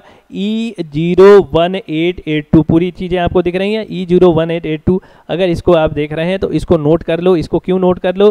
क्योंकि कोई भी बच्चा अगर कोई भी दोस्त, मित्र, यार, रिश्तेदार, कोई भी, अगर वो कहता है कि, सर, हम महिंद्रा से एसटी खरीदना चाह रहे हैं, स्पीड टेस्ट खरीदना चाह रहे हैं, क्योंकि स्पीड टेस्ट हमको देना है हम बुक खरीदना चाह रहे हैं, ठीक है? स्टडी मटेरियल परचेस करना चाह रहे हैं, हम क्लास करना चाह रहे हैं, ठीक है? तो उसके लिए जब बच्चा जाएगा परचेसिंग के लिए, कहाँ पे? www.mahindra.org पे आपको मालूम होगा, हमने सभी साइटों को मर्ज करके जो है ना, एक जगह कर दिया है, ठीक है? तो www.mahindra.org पे जब बच्चा जाएगा तो वहाँ पे वो जब परचेस करने जाएगा परचेस करने के लिए कहाँ पे जाएगा? ठीक है तो माई शॉप वाला जो एरिया है वहाँ पे ना, वो स्टोर के नाम से या माई शॉप के नाम से आपको मिल जाएगा उस पर जैसे आप पेज खोलोगे फ्रंट पेज पे, आपको तीन वहाँ पे मिल जाएँगे जिसमें से सेकेंड वाला फ़र्स्ट वाला माई शॉप यानी स्टोर होगा, फिर आपका एसटी से रिलेटेड होगा, यानी माई पोर्टल जो एसटी पोर्टल आप लोग समझते हैं उसको। ठीक है तो ये मौजूद होंगी। ठीक है तो उसमें जब बच्चा जाएगा, उसमें ढेर सारे प्रोडक्ट हैं, उसको वो परचेस करेगा। ठीक है, उसको वो परचेस करेगा और परचेस करेगा करेगा पेमेंट से पहले ये कोड लगा देगा, उसको बेनिफिट मिल जाएँगे, ठीक है? उसको बेनिफिट मिल जाएँगे, बहुत सी अच्छे डिस्काउंट उसको मिल जाएँगे, ठीक है? ये कोड जो है एकदम याद रखना, ये बहुत ही तगड़ा कोड है, ये हर सब्जेक्ट पे, हर प्रोडक्ट पे, हर क्लास पे, हर जगह कहीं लगा दो किसी भी प्रोडक्ट पे, ठीक है? और अगर मान लो कोई आप ऐसा कोई प्रोडक्ट खरीद रहे हो जिसमें कंबाइन है क्लास भी है एसटी भी है बुक भी है और ऐसे कुछ करके है तो वहाँ पे आप यूज़ कर सकते हैं, ठीक है? अगर सिंगल प्रोडक्ट है, मान लो क्लास खरीद रहे हैं क्लास खरीद रहे हैं मतलब उस क्लास में तो सब कुछ आता है, वो खरीद रहे हैं तो वो अलग चीज़ है। अगर आप खरीद रहे हो, मान लो बैंक की बैंक और एसएससी का क्लास एक साथ खरीद रहे हो, ठीक है कॉम्बो प्रोडक्ट में तो वहाँ पे आप लगा देना, दूसरा वाला जो बड़ा वाला कोड आपको दिख रहा है ना यहाँ पे, जो बड़ा वाला कोड आपको यहाँ पे दिख रहा है, ठीक है? ये देखो यहाँ पे बड़ा वाला कोड दिख रहा है ना E zero one eight eight two N dash dash U N N N Z nine याद रखना, तीन बार एन है, फिर जेड नाइन है तो ये आपके काम आ जाएगा। स्कोर जल्दी से बता दो, मैं स्कोर के लिए वेट कर रहा हूँ, सभी बच्चे स्कोर बताते हैं, बिल्कुल चलो। सभी बच्चों का स्कोर भी यहाँ पे आ चुका है वेरी गुड बच्चों, बहुत ही अच्छा पार्टिसिपेशन आपका रहा। सेशन को लाइक करते हुए ज़रूर जाना, ठीक है? सेशन को लाइक करते हुए ज़रूर जाना वेरी गुड चलिए आगे हम लोग बढ़ते हैं और अगले दिन हम लोग मिलेंगे, ठीक है? Thank you very much for participating participate करते रहें, ऐसे ही रिवीजन होता रहेगा इन्फॉर्मेशन मिलती रहेगी पीडीएफ आपको मिल रही है। टेलीग्राम ग्रुप में ज़रूर शामिल हो जाओ at the rate Dheeraj one eight eight two ठीक है, उसमें ज़रूर शामिल हो जाओ और उसमें जो है क्विज वगैरह होती रहती है तो इसमें आप पार्टिसिपेट करके चीज़ें सीख लोगे, ठीक है? चलो फ़िलहाल आज के लिए इतना ही। Thank you very much for participating in it ठीक है? Thank you